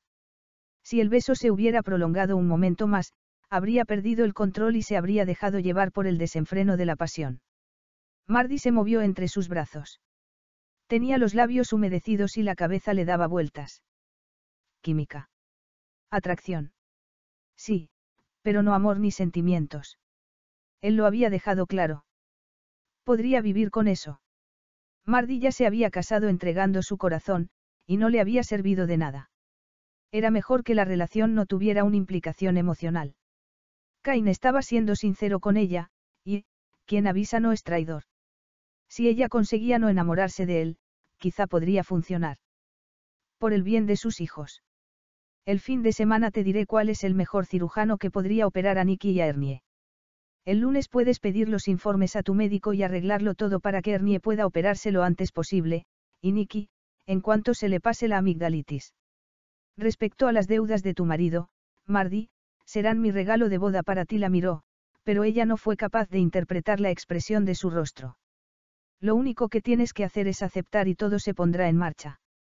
Hace falta avisar con un mes de antelación, así que tendrás cuatro semanas para centrarte en las operaciones de Nicky y Ernie antes de que nos casemos. Mardi tragó saliva. Lo único que tenía que hacer era decir que sí y sus preocupaciones habrían terminado. De acuerdo, acepto, dijo ella con voz temblorosa. Has tomado la decisión adecuada, la besó de nuevo, pero esa vez solo le dio un delicado beso en los labios y se retiró. Ahora, ve a dormir un poco. Dormir. Mardi estaba muy nerviosa, así que salió corriendo. Cain se quedó parado unos segundos, observando cómo la silueta de Mardi desaparecía en la oscuridad. Si aquella mañana iba a ser buena o mala para ellos, solo el tiempo lo diría. De lo único que él estaba seguro era de que sus hijos iban a estar en la gloria. Capítulo 10. Decidieron no decírselo a nadie hasta que Nicky y el abuelo se hubieran operado. Cain sabía que a Mardi no le gustaría tener preocupaciones de más y, como la noticia haría que la gente rumoreara sobre ellos, decidieron que lo mejor sería darla una vez estuvieran casados. El martes, el mejor cirujano de Sydney, especializado en ortopedia, vio a Ernie y decidió que lo operaría el viernes por la mañana en un hospital privado. El jueves, Mardi llevó a Nicky a ver a otro cirujano, y este decidió que lo operaría de las amígdalas al miércoles siguiente. Como iba a estar muy ocupada, Mardi dejó el trabajo en el colegio de niñas para tener tiempo libre. No tendrás problemas para encontrar otro trabajo más tarde, le dijo Cain cuando ella le contó su decisión. Eres una mujer inteligente y tienes mucho talento, Mardi. Además, cuando nos casemos, no te hará falta trabajar, le recordó. Solo si tú quieres. No, pensó ella, no necesitaré trabajar. Tendré un esposo rico que me mantendrá. Cain ya había pedido un talonario al banco para dárselo a ella, y le había dicho que pagara todas las deudas que le había dejado su marido. Confiaba en Mardi, aunque ni siquiera eran marido y mujer. Y sabía que ella no abusaría de su confianza. Mardi no se sentía bien del todo. Se sentía culpable y completamente dependiente de Cain. Decidió que buscaría otro trabajo en cuanto estuviera adaptada a su nueva vida. Un trabajo a media jornada que fuera compatible con su vida familiar. El viernes, Mardi pasó toda la mañana pegada al teléfono. El cirujano le había prometido que la llamaría en cuanto terminara de operar a Ernie, pero a ella le parecía que el tiempo pasaba muy despacio. ¿Y si algo había salido mal? Sonó el teléfono y Mardi descolgó enseguida. Mardi Sinclair. Mardi, soy Cain. ¿Sabes algo? Todavía no dijo con voz temblorosa y llena de preocupación. Mardi, espérame. Ahora voy. Cain iba a regresar a la casa. Colgó el teléfono y se abrazó a sí misma. No estaba segura de si quería que estuviera allí con ella. Desde el viernes por la noche él había estado distante, sin ni siquiera tocarla, pero la atracción sexual que había entre ellos era evidente. Cuando llamaron al timbre, Mardi dijo. Pasa. Está abierto tenía miedo de lanzarse a los brazos de Cain si iba a abrir. Cain entró en la casa. Llevaba la camisa desabrochada y se había quitado la corbata. ¿No hay noticias? Preguntó. Se fijó en que Mardi estaba preocupada y sintió un nudo en la garganta. Vio que ella se sentaba en un sillón y se alegró, porque deseaba tomarla entre sus brazos, pero no quería mostrarle lo que sentía por ella hasta que no se hubieran casado. Y además, quería que, cuando la llevara a su cama, ella no tuviera ninguna preocupación y se centrara solo en él. Lo que sentía por Mardi era diferente de lo que había sentido nunca. Desde que Mardi formaba parte de su vida, él se había unido más a su hijo. Ella le había enseñado a ser menos egoísta y a dar más de sí mismo. Esperaré contigo, dijo al ver que Mardi no contestaba, y se sentó frente a ella. Deseaba acariciarla, pero tendría que esperar. Mardi estaba pensando en su familia, que en esos momentos era su prioridad. Sonó el teléfono y Mardy se sobresaltó. Sí. Mardy Sinclair al habla. Cain la observó y se fijó en que ponía cara de alivio. Oh, gracias, doctor. Muchas gracias. Sí. Puedo. Sí, sí, ahora mismo voy cuando colgó, tenía los ojos llenos de lágrimas y miró a Cain. La operación ha sido un éxito. Ernie está despierto y el médico me ha dicho que puedo ir a verlo si quiero, solo unos minutos. Yo te llevaré, dijo Cain. Te dejaré en el hospital y te esperaré. Después comeremos algo y, para entonces, ya será la hora de recoger a los niños del colegio. ¿Qué te parece si hago una barbacoa y una ensalada esta tarde y así tú no tienes que hacer nada? Si quieres volver al hospital más tarde, yo puedo quedarme en casa con los niños. Nicky puede dormir en el cuarto de Ben. Ella lo miró a los ojos. Vas a tomarte la tarde libre. Pueden localizarme en el móvil o en casa si me necesitan. Hoy es el día de Ernie. Me alegro de que todo haya salido bien, Mardi. Sí, estoy mucho más tranquila, admitió ella. Solo espero que la operación de Nicky también sea un éxito. Lo será, Mardi. Robert Cunningham es el mejor cirujano que hay y ha hecho esa operación cientos de veces. Cain tuvo que contenerse para no rodearle los hombros con el brazo. El miércoles por la mañana, Mardi y Ben llevaron a Nicky al mismo hospital en el que estaba Ernie y se quedaron con él hasta que lo llevaron al quirófano. Todo va a salir bien, cariño le susurró Mardi a su hijo antes de darle un beso. Ben se agachó y también le dio un beso a Nicky. Hasta luego le dijo. Hasta luego repitió Nicky. Mardi agarró a Ben por los hombros y deseó que alguien la abrazara a ella. Pero su abuelo estaba en otra planta del hospital y Cain había ido a una reunión a la que no podía faltar. Vamos, campeón le dijo a Ben. Te llevaré al colegio. ¿Por qué no puedo esperar aquí contigo? Dijo Ben. Porque tendremos que esperar mucho, y Nicky no se encontrará bien para hablar contigo hasta dentro de un tiempo. El cirujano le había asegurado que era una operación sencilla, pero Mardi tenía miedo de que pudiera suceder algo malo. Después de dejar a Ben en el colegio, Mardi regresó al hospital y se quedó en la sala de espera. Intentó ser positiva y pensar en cómo Ernie iba progresando. El médico le había dicho que su abuelo tendría que quedarse al menos una semana más en la habitación, y que después pasaría al área de rehabilitación. Miró el reloj con nerviosismo. Se puso en pie y comenzó a caminar de un lado a otro. Deduzco que todavía está dentro, le dijo alguien cuya voz le resultaba familiar. Oh, Cain. Mardi se sintió muy aliviada al verlo. Están tardando más de lo que me dijeron. Estoy muy asustada. Robert Cunningham nunca opera con prisas, la tranquilizó Cain. No puedo esperar más. Se quejó ella. No podría soportar que a Nicky le pasase algo. Lo sé, Cain podía sentir su dolor y se quedó sobrecogido cuando había sentido antes el dolor de otra persona. Pero no pasará nada, Mardi la llevó a una esquina e hizo que se sentara. ¿Ya ha terminado tu reunión? Preguntó ella, tratando de distraerse. Se estaba prolongando demasiado, así que me marché, dijo él. Se había marchado antes de la reunión. Mardi lo miró asombrada. Señora Sinclair. Volvió la cabeza y vio a un hombre vestido con bata verde. Era el cirujano de Nicky, así que Mardi se puso en pie. ¿Ha ido todo bien? Preguntó, apenas sin percatarse de que estaba agarrada del brazo de Cain. Todo ha salido muy bien, señora Sinclair. Su hijo ha sangrado un poco, pero ya está bien. Sentirá un poco de dolor, pero es normal. Puedo verlo. Dentro de poco saldrá de la sala de observación. Cuando lo lleven a su habitación, podrá estar con él. Tendrá que estar tumbado de lado durante un rato, para asegurarnos de que ya no sangra.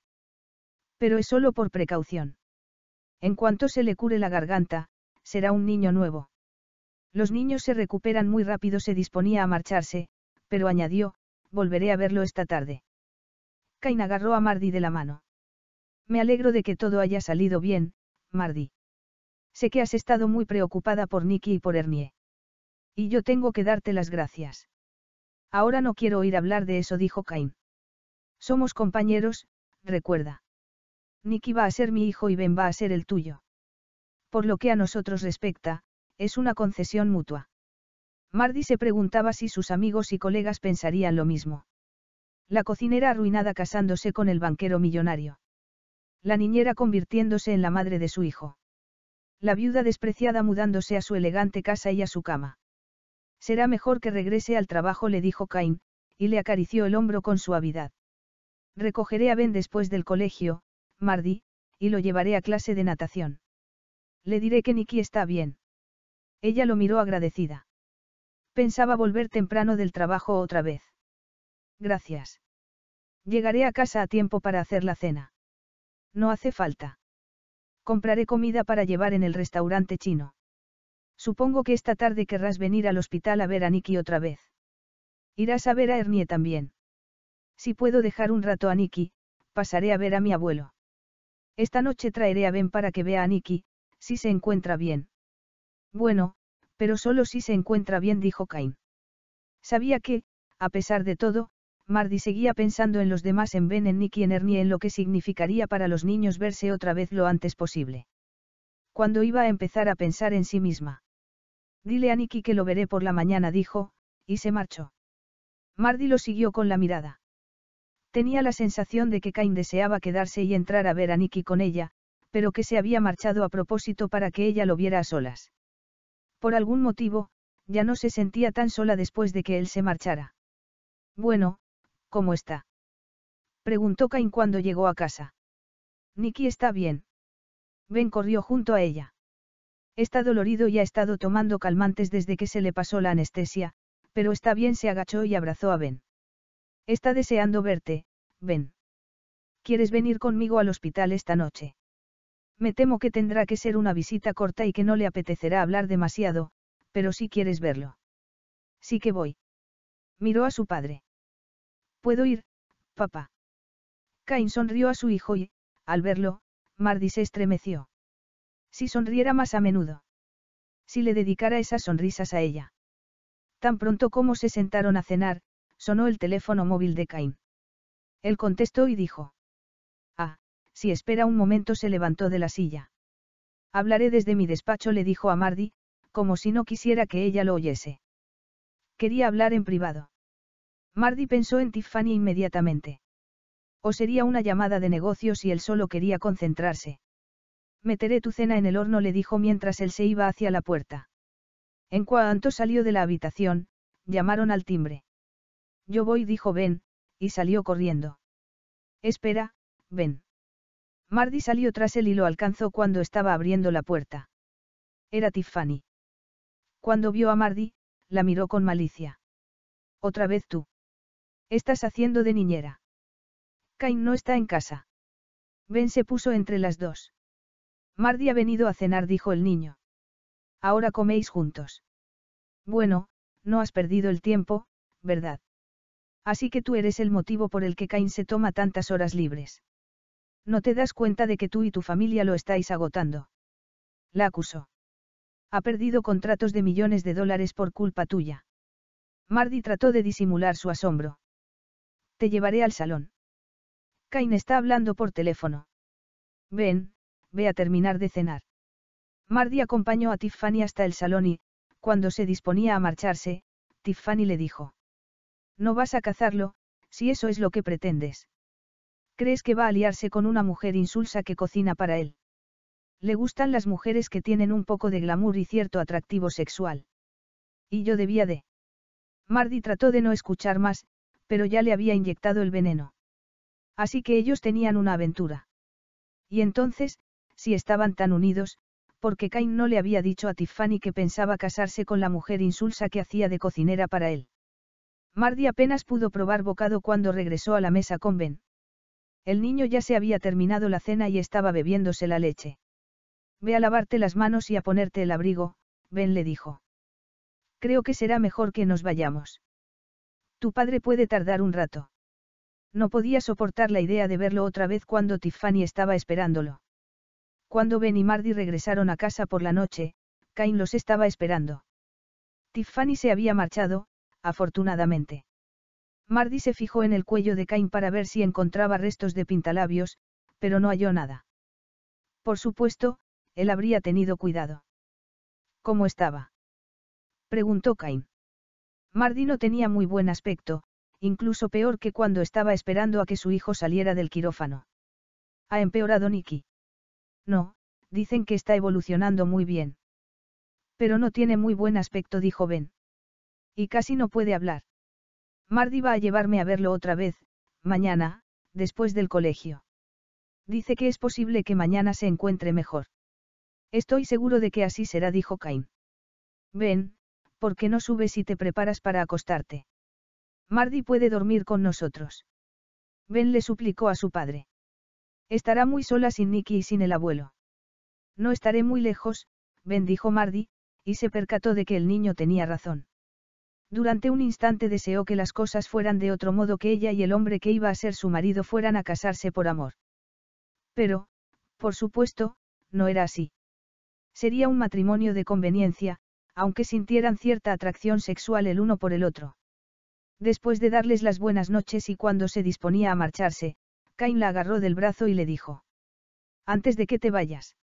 Le hizo un gesto a Ben para que se fuera, tengo que decirte una cosa. Sí.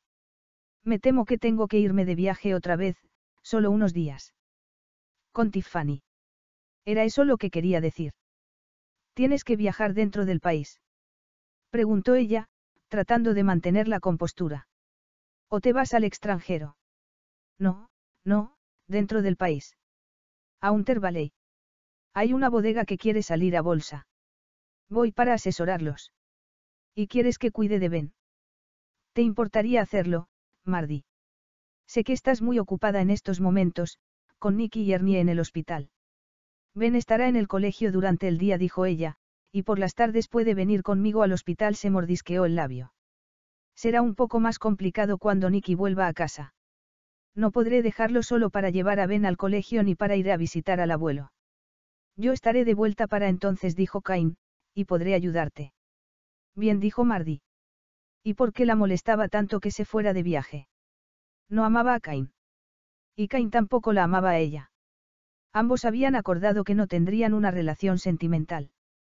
Pero Cain no había especificado que no tendría una relación sentimental con otra persona. Capítulo 11. Dos días antes de la boda, Mardi quedó con Cain en la ciudad para elegir el anillo de boda. Él le dijo que eligiera un anillo de compromiso, pero ella contestó. No necesito un anillo de compromiso. Entonces, un anillo cualquiera, insistió él. Algo que te guste, un zafiro, un diamante, lo que más te guste. Nunca había conocido a una mujer que rechazara una joya como regalo. Pero Mardi no era como las otras mujeres. Por favor, Cain, prefiero que no. Más tarde quizás sonrió. Como quieras, dijo él. ¿Y cómo no vamos a tener luna de miel? Nos iremos de viaje a algún sitio durante las próximas vacaciones de colegio, si a Ernie y a Nicky les apetece. ¿Dónde te gustaría ir? A una de las islas. A Disneylandia. A Gold Coast. Me gustaría llevar a los niños a Nueva Zelanda. ¿Por qué a Nueva Zelanda? Preguntó Cain con tensión. Me gustaría conocer a tu padre, lo retó con la mirada. La familia es muy importante, Cain, y no hay que abandonarla. Sobre todo cuando se hacen mayores y no vivirán mucho tiempo más. Nicky adora al abuelo. Me gustaría que Ben y su abuelo tuvieran la oportunidad de conocerse.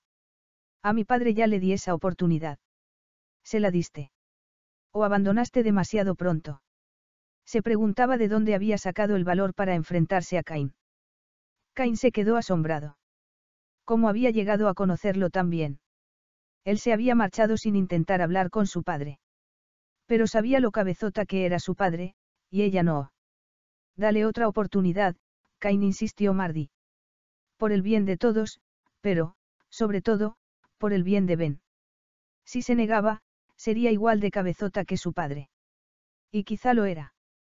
Quizá ese había sido el problema. Supongo que todo el mundo se merece una segunda oportunidad. A la mañana siguiente, el abuelo sufrió un colapso. Estaba sentado en la mesa de la cocina desayunando y, de pronto, se derrumbó sobre la mesa. Abuelo, ¿Qué ocurre? Mardi corrió hacia él. No se movía y tampoco respiraba. Mardi lo levantó y lo tendió en el suelo. Le tomó el pulso y trató de reanimarlo. Llamó a Nicky, que se estaba preparando para ir al colegio. Nicky, ven rápido. corre. El niño obedeció enseguida. Descuelga el teléfono y marca el 000, diles que envíen una ambulancia, continuó haciéndole la reanimación cardiopulmonar al abuelo. Diles que tu abuelo no respira. Y dales nuestra dirección. Después corre a buscar a Cain y a Ben. Todo sucedió muy rápido. Cain y Ben aparecieron y, al poco rato, llegó la ambulancia. Los médicos trataron de hacer todo lo posible, pero Mardi sabía que no había mucho que hacer. ¿Cómo podía haber sucedido? Todo había ido bien hasta ese momento. El abuelo se había recuperado muy bien después de la operación. Sintió que Cain la rodeaba con los brazos y la atraía hacia sí. Por favor, no abandonéis, les dijo Mardi a los médicos. Ha muerto, señora Sinclair. Lo siento, se pusieron en pie. Había tenido algún problema de corazón. O tenía problemas para respirar. Se quejaba de estar enfermo. A principios de mes lo operaron de la cadera, pero se estaba recuperando muy bien. Le sugiero que llame a su médico. Él le dirá lo que tiene que hacer. Lo llamaré yo, dijo Cain cuando se marchó la ambulancia. Dame su número, Mardi. Los días siguientes pasaron en una nebulosa. Retrasaron la boda hasta después del entierro. Mardi estaba impresionada. El médico había atribuido la muerte de su abuelo a un coágulo de sangre. Cain hizo todo lo que pudo por ella. Informó a los amigos de Ernie, cuidó de los niños y le demostró a Mardi que la apoyaba en todo lo necesario. Ella estaba muy distante y parecía que no se enteraba de nada de lo que se le decía. Pocos días después del entierro, cuando Cain llegó a casa, se encontró a Mardi llorando de manera desconsolada. No tienes que pasar por esto sola, Mardi le dijo, y la abrazó. Le retiró el cabello de la cara y comenzó a acariciarle la mejilla. Oh, Cain, lo echo tanto de menos. Lo quería tanto. Le debo todo a él. No me refiero al dinero ni a las cosas materiales. Él nunca tuvo mucho dinero. Había cosas más importantes, los ideales, los valores. Él me quería e hizo muchos sacrificios por mí, dijo con voz temblorosa. Cain apoyó los labios sobre la cabeza de Mardi. Sacrificios, amor. Se preguntaba cuándo él se había sacrificado por alguien, o si sabía lo que significaba la palabra amor. Inclinó la cabeza y besó a Mardi en los párpados. Después la besó en la mejilla, en el cuello, en la cara. Ella se aferraba a él como si sus besos desataran algo en su interior. Mardi abrió la boca y lo besó, tratando de borrar la desesperación que había sentido durante los días pasados. No era el momento de pensar, solo de sentir de olvidar. Cain comenzó a acariciarle el cuerpo. Metió la mano por debajo de la blusa y sintió la suavidad de su piel. La tomó en brazos y, sin dejar de besarla, la llevó hasta la habitación y se tumbaron en la cama. Abrazados, se besaron y acariciaron sin parar. Mardi no recordaba haber sentido tanta pasión. Estuvo a punto de decir, te quiero, pero consiguió que las palabras no salieran de sus labios. El amor no formaba parte de ese matrimonio y, al recordarlo, se levantó antes de perder el control. Prefiero esperar a que estemos casados. Si eso es lo que quieres, Mardi dijo Cain. Lo ves, el matrimonio nos va a beneficiar a los dos. Cain todavía no había hablado de amor ni de sentimientos, tampoco quería oír hablar de ello, porque el amor no formaba parte del trato. Durante un instante, Mardi se preguntó si Cain Templar habría sentido amor por alguien, incluida Silvia. Quizá el matrimonio podía funcionar si ella no esperaba demasiado del mismo. Dos días más tarde se casaron en el registro. Los niños estaban emocionados, y a la ceremonia solo asistieron como testigos el doctor Graham Barlett, que era el médico de familia de Cain, y su esposa Kate. Cuando ya estés instalada en casa le prometió Cain, haremos una fiesta con algunos amigos para decirles que estamos casados. Mardi se preguntaba cómo iba a reaccionar Tiffany. Quizá Cain ya se lo había dicho. Quizá ella ya no formaba parte de su vida. Pero ¿cómo podía ser, si era la socia de Cain? La ceremonia fue muy corta y, cuando el oficiante dijo, puede besar a la novia, Cain agachó la cabeza y la besó. Mardi sintió cierto nerviosismo. Cuando Cain se retiró, ella se volvió para mirar a los niños y no permitir que él viera lo que sentía reflejado en su mirada. Después de la boda, los testigos se marcharon y Cain invitó a su nueva esposa y a los niños a comer en un restaurante. Pasaron la tarde haciendo la mudanza a casa de Cain. Cain le ofreció a Nicky la habitación que estaba frente a la de Ben, pero este insistió en que su nuevo hermano durmiera con él en la habitación. Lo intentaremos, dijo Cain, pero si os ponéis a jugar por la noche o no os dormís enseguida, Nicky se irá a su habitación, comprendido. Sí dijeron los niños, y comenzaron a reírse. Estaban emocionados con la idea de ser hermanos, y Ben parecía muy ilusionado con tener a Mardy como madre. Cuando le preguntó si podía llamarla mami, ella sintió que los ojos se le llenaban de lágrimas. Miró a Cain y se preguntó qué le parecía la idea. Él sonrió, y dijo. Puedes llamar mami a Mardy, Ben dijo Cain, si Nicky me llama papá. Se hizo un silencio. Nicky siempre lo había llamado señor Templar y se quedó un poco desconcertado. Pero tú no eres mi papá. Mi papá está muerto. Mardy sintió un nudo en la garganta. Estaba convencida de que Nicky estaba contento con la decisión que ella había tomado al casarse con Cain. Llevaba muchos días sin mencionar a Darrell. Rodeó a su hijo por los hombros y le dijo. No quiere decir que tengas que olvidar a tu papá, Nicky. Puedes tener su foto en tu habitación y seguir hablando de él. Pero tu padre ya no está y ahora tienes un papá nuevo, igual que Ben tiene una nueva mamá. Si prefieres llamarlo Cain. Ben la interrumpió. Llámalo papá, como yo le dijo a Nicky. No papi papi es para los bebés. Nicky asintió, y Mardy le dijo a Ben con una sonrisa. Eso quiere decir que prefieres llamarme mamá, en lugar de mami. Nicky te llama mami, así que yo también dijo él, y el asunto quedó zanjado. El único que faltaba en la mudanza era el abuelo. Mardy se preguntaba compungida qué habría pensado Ernie del cambio. Sonrió con tristeza al imaginárselo diciendo, no me gusta mudarme a casa de esa mujer. Y era cierto. La influencia de Silvia impregnaba la casa. Lo único que faltaba en ella era una fotografía suya o un retrato. Sería que Cain no podía soportar la imagen de su esposa. De su primera esposa, porque Mardy era su esposa en esos momentos. Cain la llevó al dormitorio principal y Mardy se fijó en que la presencia de Silvia seguía invadiendo el ambiente. Todo estaba decorado al estilo de ella, y no se parecía en nada a cómo lo habría hecho Mardy. Cómo iba a dormir en la cama que Cain había compartido con Silvia. ¿Qué te parece si nos deshacemos de la cama y de los almohadones, y compramos otra más sencilla? Le preguntó Cain al ver la expresión de su rostro. Mañana ve y elige una, Mardy. Sé que este no es tu estilo. Tampoco es el mío, pero no he tenido tiempo ni energía para cambiarlo. No se me da muy bien la decoración, Mardy se quedó sorprendida. Además, me gustaría que hicieras que la casa fuera más habitable. Vamos a tener dos niños corriendo por la casa con las manos sucias y los zapatos llenos de barro. Vas a permitir que los niños corran por tu bonita casa. Cain frunció el ceño.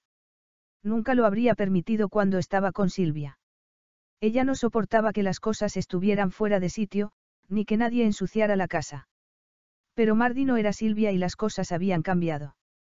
Creías que los iba a tener encerrados en su habitación. O en el sótano. Dijo con una sonrisa. Por cierto, el gimnasio podemos convertirlo en el cuarto de juegos. Necesitarán una habitación así cuando se hagan mayores. Cuando se hagan mayores. Mardi tragó saliva. No había pensado en un futuro tan lejano. Claro, era la esposa de Cain Templar y viviría con él mientras sus hijos los necesitaran o quizá más tiempo. Si todo salía bien. Esa noche, como era su esposa, compartirían la cama esa cama que tenía delante. Cain se fijó en que Mardi miraba la cama y comprendió que no era la decoración lo que más la molestaba, sino la idea de dormir en la cama que él había compartido con Silvia. Solo que Silvia no había dormido en ella al menos, no desde que Ben era un bebé. Por cierto, Silvia dormía en la habitación de invitados y no aquí. Decía que yo no la dejaba dormir. Y decoró la habitación de forma que solo una mujer podría pasar tiempo en ella. No dormíais juntos. Por eso tu esposa se lió con mi marido. Soltó sin pensar. Mi esposa tenía aventuras con otros hombres antes de conocer a tu marido, dijo con resignación. Y supongo que tú también lo retó. Lo siento, Cain. Lo que hacías en el pasado no es asunto mío. Que durmiéramos en habitaciones separadas no significaba que no tuviéramos relaciones sexuales. Ella seguía siendo mi esposa. Y yo su esposo. A ella lo que no le gustaba era compartir la cama. Mardi lo miró. Había dicho, tener relaciones sexuales, y no, hacer el amor. ¿Amabas a tu esposa? Le preguntó con curiosidad. Amarla. No creo que yo haya conocido el significado de esa palabra. Los dos queríamos las mismas cosas, éramos igual de ambiciosos. Mardi se quedó en silencio. Decidió que había llegado el momento de agarrar al toro por los cuernos y sacar el tema que la preocupaba. Me he fijado en que no hay ninguna foto de Silvia en la casa. Ni siquiera Ben tiene foto de su madre. Cain, ¿crees que eso es justo para tu hijo? Hubo un largo silencio y, cuando Cain se decidió a hablar, lo hizo con frialdad. No fui yo el que quitó las fotos de Silvia, Mardi. Una noche llegué de trabajar y me encontré con que Ben había sacado todas las fotos de los marcos y las había hecho pedazos. ¿Y por qué hizo una cosa así? Supongo que estaba enfadado porque su madre lo había dejado. Algunos niños de la guardería se metieron con él después del accidente porque su madre se había marchado con otro hombre.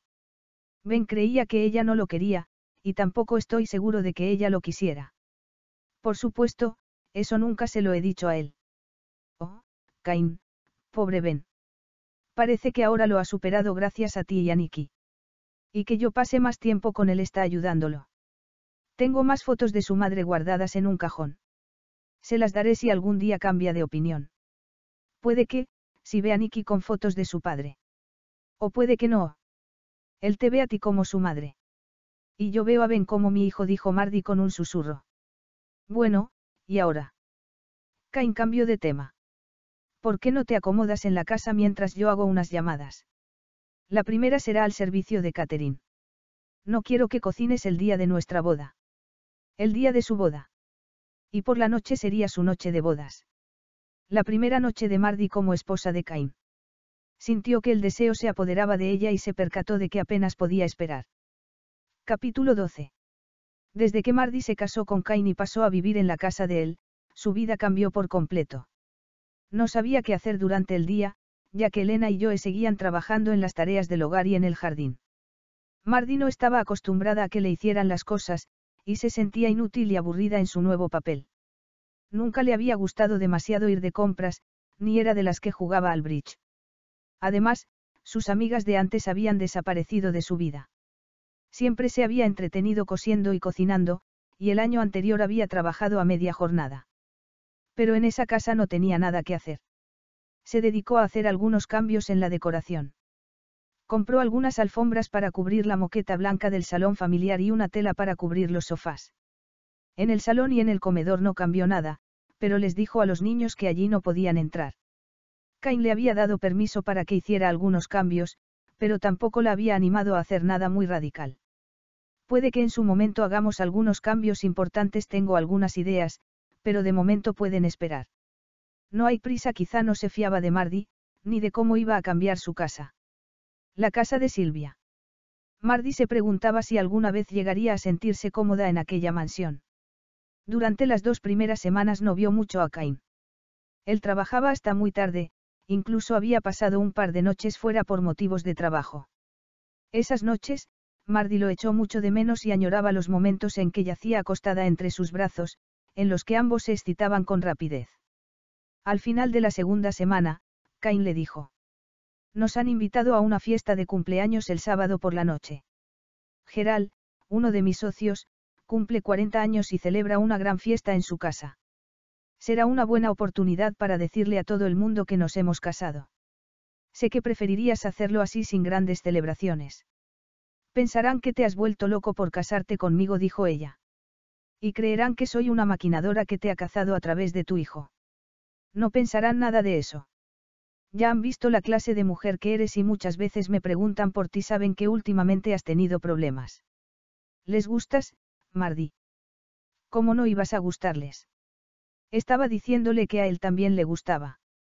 ¿Sería eso suficiente para mantener un matrimonio toda una vida? Mañana irás a comprarte un vestido, le dijo Cain. Es una fiesta de etiqueta, les encanta cualquier excusa para vestirse. No, mejor aún, te llevaré a Double y elegiremos algo juntos. Tenía miedo de que ella eligiera algo inadecuado y lo avergonzara en público. Double era una de las boutiques más selectas de Sydney. Contrataron una niñera para que cuidara de los niños por la noche. Cuando llegó Bryony, Mardi ya estaba preparada para marcharse. Les dio las buenas noches a los niños y se dirigió al piso de abajo para reunirse con Cain. Estás preciosa, le dijo él, y ella se sonrojó. Llevaba un vestido sencillo de tirantes que le quedaba muy bien, el pelo suelto y unos pendientes de ámbar que hacían juego con el vestido. Cuando llegaron a la casa de Geral, ya había otras parejas allí. Al ver que entraba Cain, se hizo un gran silencio. Geral y su esposa, Ellen, corrieron a recibirlos. Cain. Y. Miraron a Mardi, y ésta deseó que la tragara la tierra. ¿Conocéis a Mardi? No. Dijo Cain con suavidad, y la agarró con más fuerza por el brazo. Me alegra deciros que ahora es mi esposa mientras los anfitriones los miraban asombrados y le daban la enhorabuena, Cain continuó. Y Ben tiene un hermano nuevo. Nicky, el hijo de Mardi y el mejor amigo de Ben. ¿Conocisteis a Nicky en el barco? Geral, feliz cumpleaños. Llegó otra pareja y Cain guió a Mardi hasta el interior de la sala. Otras parejas se acercaron a darles la enhorabuena. Las personas que estaban cerca de la entrada habían oído la noticia, y ésta se había esparcido entre los invitados. Mardi se preguntaba si las felicitaciones que recibía eran sinceras. Las de los hombres parecían más sinceras que las de las mujeres.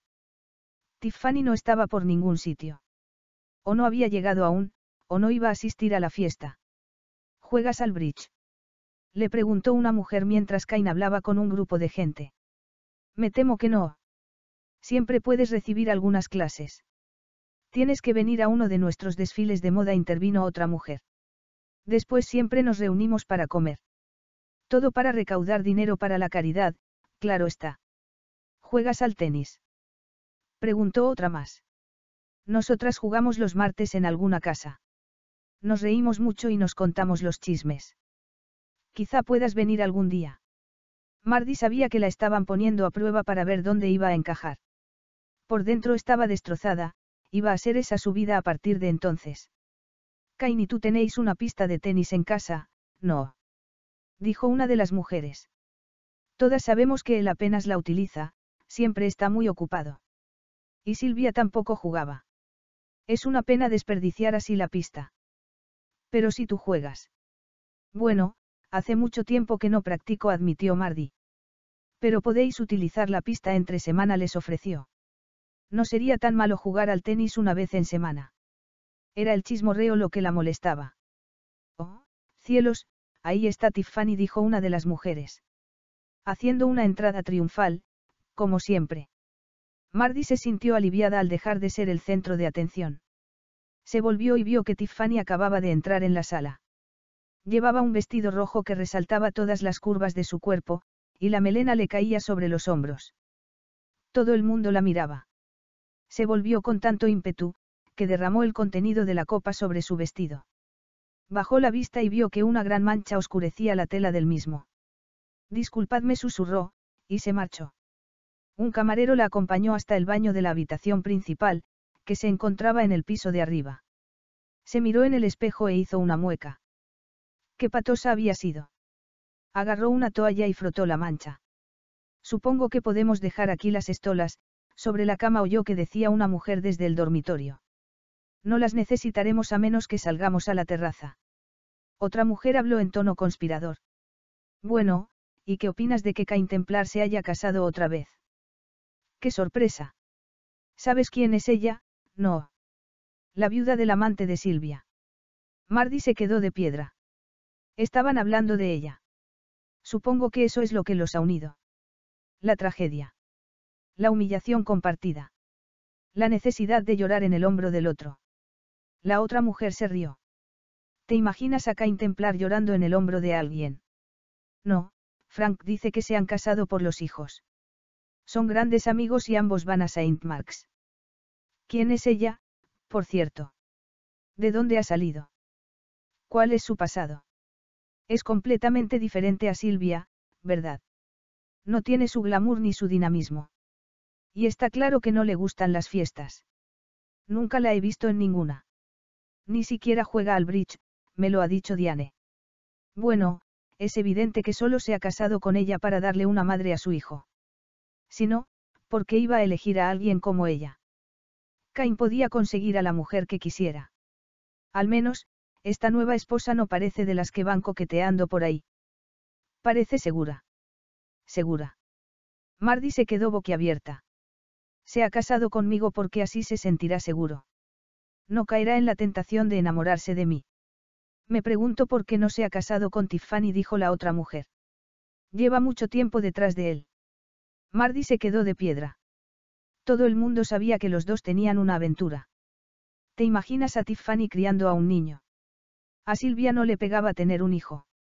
A menudo solía decir, ¿y para qué son las niñeras? Mardi sintió un nudo en la garganta. No quería oír nada más. Pero ¿cómo iba a salir y enfrentarse a ellas? ¿Cómo iba a mantener la dignidad con ese aspecto? Miró la mancha de su vestido y decidió que tendría que secarse un poco antes de poder salir. Será mejor que bajemos. Me muero por una copa. Mardi se fijó en que había un secador de pelo colgado en la pared. Lo enchufó y secó la mancha con él. Mientras lo hacía, las palabras que acababa de oír retumbaban en su cabeza. Mardi, se dijo, llevas mucho tiempo permitiendo que otras personas y sus necesidades ocupen tu vida. Has perdido tu identidad como mujer, como persona. Es hora de que tomes las riendas de tu vida. Siempre había deseado tener tiempo para sí misma. Y en esos momentos lo tenía. Era la oportunidad de conseguir lo que siempre había querido. Iba a escribir un libro. Una novela romántica. Las novelas románticas se leían con facilidad y eran una buena vía de escape. Empezaría al día siguiente. Miró la mancha de su vestido y vio que había desaparecido. Bien. Salió del baño y se dirigió hacia las escaleras. Solo para encontrarse con Tiffany en el rellano. Al verla, Tiffany puso cara de endiablada y la miró con tanta malicia, que hizo que Mardi se quedara de piedra. Sabía que estabas decidida a poner tus garras sobre él, le dijo. Sabía que utilizarías a tu hijo para entrar en su vida. Pues si crees que vas a ganarte su corazón, igual que su dinero y su apellido, te equivocas. Su corazón me pertenece. Cain me lo ha dicho y me lo ha demostrado montones de veces. Me lo ha demostrado. Con esto. Le enseñó el brazalete de diamantes que llevaba. Se lo había regalado Cain. Lo que hiciera Cain antes de casarse conmigo no me interesa. Tiffany soltó una carcajada. Me lo regaló el martes pasado, cuando me invitó a cenar. Creo que lleváis casados un par de semanas. Y él lo ha guardado en secreto. Mardi recordó que Cain había salido a cenar el martes. Le había dicho que tenía que cenar con unos clientes de Nueva York. No había mencionado a Tiffany. Mardi se sintió igual de desesperada que cuando murió su abuelo. Había pensado que Tiffany ya no volvería a aparecer en su vida. Claro que Cain había trabajado hasta tarde. Había salido con ella. Creía que podía hacer lo que quisiera siempre que mantuviera contenta a su esposa. Oh, Mardi. Pobre tonta. ¿Sabías cuál era el trato? No era una relación sentimental, pensó. Pero ya era demasiado tarde. Algunos hombres hacen regalos muy caros antes de romper con una mujer, le dijo a Tiffany. Piensa lo que quieras y así te sientes mejor. Pero todavía no he conocido a ningún hombre que se gaste cientos de miles de dólares en una mujer a la que no quiere volver a ver. Si es que te lo dio él. Claro que me lo dio él. ¿Por qué no se lo preguntas? Te aviso de que no te lo negará. Mardi la miró con desafío y dijo. Tengo que regresar junto a mi marido. Al menos Tiffany no podría rebatir que Cain era su marido. Él había elegido casarse con ella. Cain comenzaba a preocuparse. Una de las mujeres le había dicho que Mardi se había manchado el vestido y que había ido a limpiarse. Pero de eso hacía mucho rato. ¿Dónde diablos estaba? Mientras se abría paso entre la multitud, sonó el timbre que anunciaba que la cena estaba servida. Al ver a Mardi, se acercó a ella. Ah, estás aquí. ¿Te encuentras bien? Nunca he estado mejor, dijo Mardi. Siento haber tardado tanto, pero me derramé el champán sobre el vestido. Por suerte no se ha estropeado. Mientras esperaba a que se secara, tomé una decisión. Una decisión. ¿Sobre qué? Ahora que los niños van al colegio y mi vida es más tranquila, tengo mucho tiempo libre. ¿Quieres volver a trabajar? ¿O a la universidad? Quiero escribir un libro. Una novela romántica lo miró a los ojos.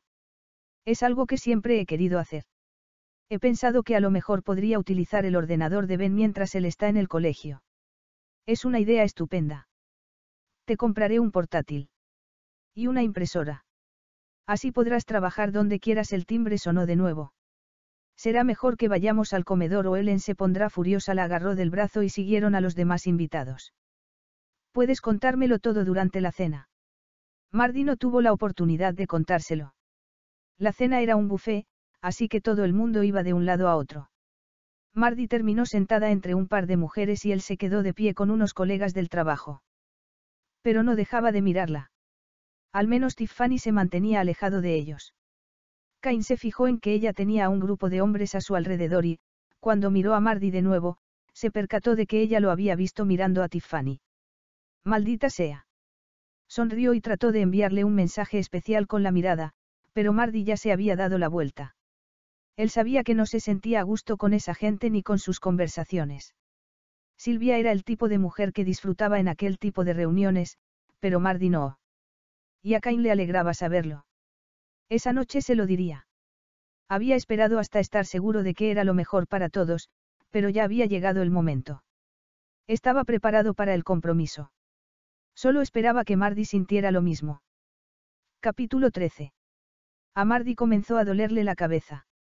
No era solo por el ruido y el champán que había bebido en la fiesta, sino también por la tensión de estar en la misma casa que Tiffany. Después de la cena, Geral y Ellen presentaron a una cantante que habían contratado para la ocasión. Mardi se alegró de no tener que hablar durante la actuación. Llevó la silla hasta una esquina y se sentó, confiando en que allí no llegarían las malvadas miradas de Tiffany. Cain estaba de pie junto a unos amigos. Mardi intentaba no mirarlo, aunque no podía dejar de pensar en que Tiffany y él habían cenado juntos unos días antes y que él le había regalado un brazalete de diamantes.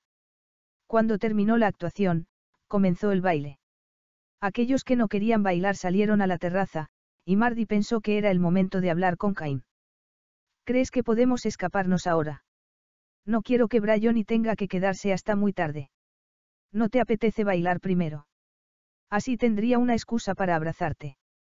Mardi sintió que su cuerpo reaccionaba ante la propuesta de Cain, pero la rechazó. No quería que él la abrazara aquella noche. No con Tiffany en la misma casa. ¿Te importa si no bailamos? Me duele la cabeza. Oh, en ese caso nos iremos ahora mismo. Les diremos adiós a Geral y a Ellen, y nos iremos. Sin despedirte de tus otros amigos. No se darán ni cuenta. Y si lo hacen, les diremos que debemos irnos. Todos saben que tenemos hijos pequeños. Todos saben que tenemos hijos pequeños. Mardi sintió que sus ojos se llenaban de lágrimas. Cain hablaba de ellos como si fueran una familia. Nicky y ella, Ben y él. Cain se preocupaba por su familia, lo había demostrado muchas veces. Hacía todo lo posible porque fueran felices, porque su esposa fuera feliz incluso en la cama. Se despidieron de Geral y Ellen, y se marcharon.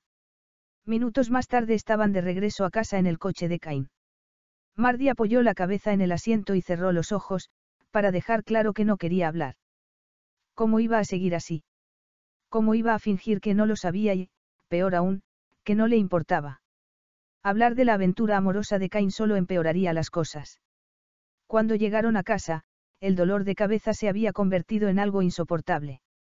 La casa estaba en silencio y Bryony se había acurrucado en un sofá, leyendo. La niñera les dijo que los niños se habían portado bien y que no había tenido problemas para acostarlos. Mientras Cain pagaba a Bryony y la acompañaba hasta el coche, Mardi subió a la habitación de los niños. Al ver sus rostros angelicales, los ojos se le llenaron de lágrimas.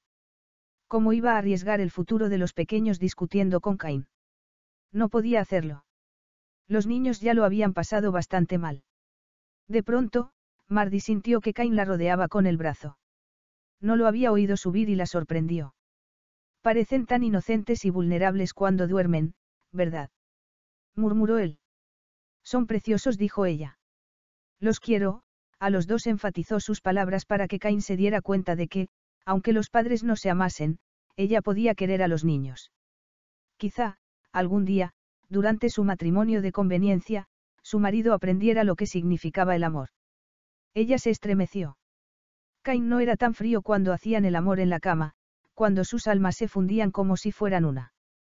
Tengo que irme a la cama, dijo ella, y se soltó. Se metió en el baño para ponerse el pijama y, cuando salió, él ya se estaba quitando la ropa. Mardi evitó mirarlo y se metió en la cama, de espaldas a él. Me parece estupendo que vayas a escribir un libro, comentó Cain con sinceridad. Bueno, voy a intentarlo, murmuró ella. Cain se metió en la cama y se acercó a ella. ¿Estás bien? Le preguntó, y la rodeó con el brazo. Estoy muy cansada. Y el dolor de cabeza me está matando. Me encuentro mal. Necesito aire. Se levantó de la cama. No podía hacer el amor con él aquella noche. Necesitaba alejarse de él. Necesitaba aire fresco. Comenzó a correr, pero en lugar de dirigirse a la terraza, se encaminó hacia la puerta y corrió por el pasillo que llevaba hasta las escaleras. Cegada por las lágrimas, se saltó el primer escalón y gritó al caer escaleras abajo. Dios mío. Mardi. Un fuerte dolor que nunca antes había sentido se apoderó de Cain. No podía estar muerta, no. Bajó corriendo por las escaleras hasta llegar al cuerpo tendido de Mardi. La mujer que amaba. ¿Por qué nunca le había dicho que la amaba? Oh, cielos. Mardi, ponte bien, por favor se acercó a ella para ver si respiraba. Mardi, preciosa mía, tienes que ponerte bien. Te quiero. Te quiero más que a mi vida. Y entonces sintió su cálida respiración. Menos mal. Estás viva. Ella gimió y abrió los ojos. ¿Qué estaba diciendo Cain? Sus ojos estaban llenos de lágrimas. Oh, Mardi, querida, te pondrás bien. No te muevas. Llamaré a una ambulancia. Puede que te hayas roto algo. Y podrías tener una conmoción. Quédate quieta mientras llamo por teléfono. Mardi tendió una mano temblorosa. No, no llames a la ambulancia. Creo que solo estoy dolorida y que me saldrán algunos cardenales. Dame un minuto. Me duele todo el cuerpo, pero no creo que me haya roto nada. Deja que me asegure. Si no quieres que llame a la ambulancia, déjame que llame a Graham. No intentes levantarte. La dejó sola un instante mientras llamaba a su amigo médico. Mientras esperaban a que llegase Cain la cunó en sus brazos y le dijo una y otra vez lo mucho que la amaba. Una vez había destapado su corazón, no era capaz de contenerse. Te quiero, Mardi. Y siempre te querré, le susurró al oído.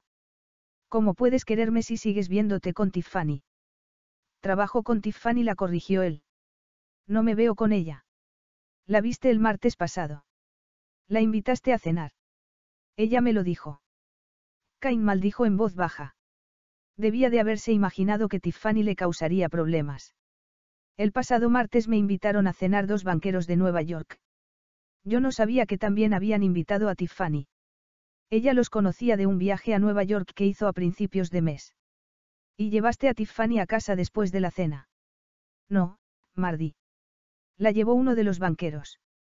Mardi se mordió el labio inferior. Podía confiar en él. Si no había llevado a Tiffany a su casa, cuando le había dado el brazalete. Le dijiste a Tiffany que la amabas cuando le diste el brazalete de diamantes.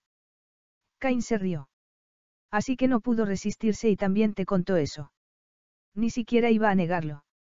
Mardi sintió que le daba un vuelco el corazón. Deja que te cuente cómo fue lo del brazalete, Mardi. No tienes que explicármelo, murmuró ella. Nunca me prometiste tu amor. Ni tu fidelidad.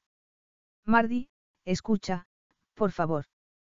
Cuando murió Silvia, el año pasado, llevé algunas de sus joyas a la oficina y le dije a mis socios y a las secretarias que se quedaran con lo que quisieran para sus esposas, sus hijas, o para ellas. Lo único que guardé fue el anillo de compromiso y el de boda, para dárselos a Ben algún día y que él se los entregue a su futura esposa, si quiere. Tiffany quería quedárselo todo, pero al final se quedó con lo más caro del lote. No le diste el brazalete el martes por la noche. Eso es lo que te dijo. Tiene el brazalete desde finales del año pasado, Mardi. Cualquiera de mis compañeros te lo confirmaría. Tiffany y yo nunca hemos sido nada más que compañeros de trabajo, la besó en la frente. Puede que ella quisiera algo más, pero yo no. Yo nunca quise ese tipo de relación con ella. Nunca. Por raro que parezca hoy día, yo creo en la fidelidad dentro del matrimonio. Puede que antes del matrimonio fuera un juerguista, pero no durante. Ni siquiera después. Encontraba la satisfacción en otro tipo de cosas, por ejemplo, trabajando más la miró con ternura. Ahora encuentro más satisfacción estando contigo con mi familia. Mardi no podía creer lo que estaba oyendo. Tiffany te desea, le dijo ella. Cariño, Tiffany puede desearme todo lo que quiera, pero es a ti a quien yo deseo. Te quiero. Solo a ti. Solo a ti y a nuestros hijos.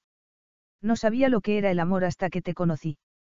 Me preocupaba por mi hijo y quería lo mejor para él, admitió, pero no sabía cómo quererlo. Tú me enseñaste a hacerlo. Has hecho que descubriera sentimientos que nunca había tenido, me has abierto los ojos y ahora sé lo que de verdad me importa en la vida. La acunó entre sus brazos y Mardi apoyó la cabeza contra su pecho. Por fin podía confiar en él y creer todas las palabras que salían de su corazón.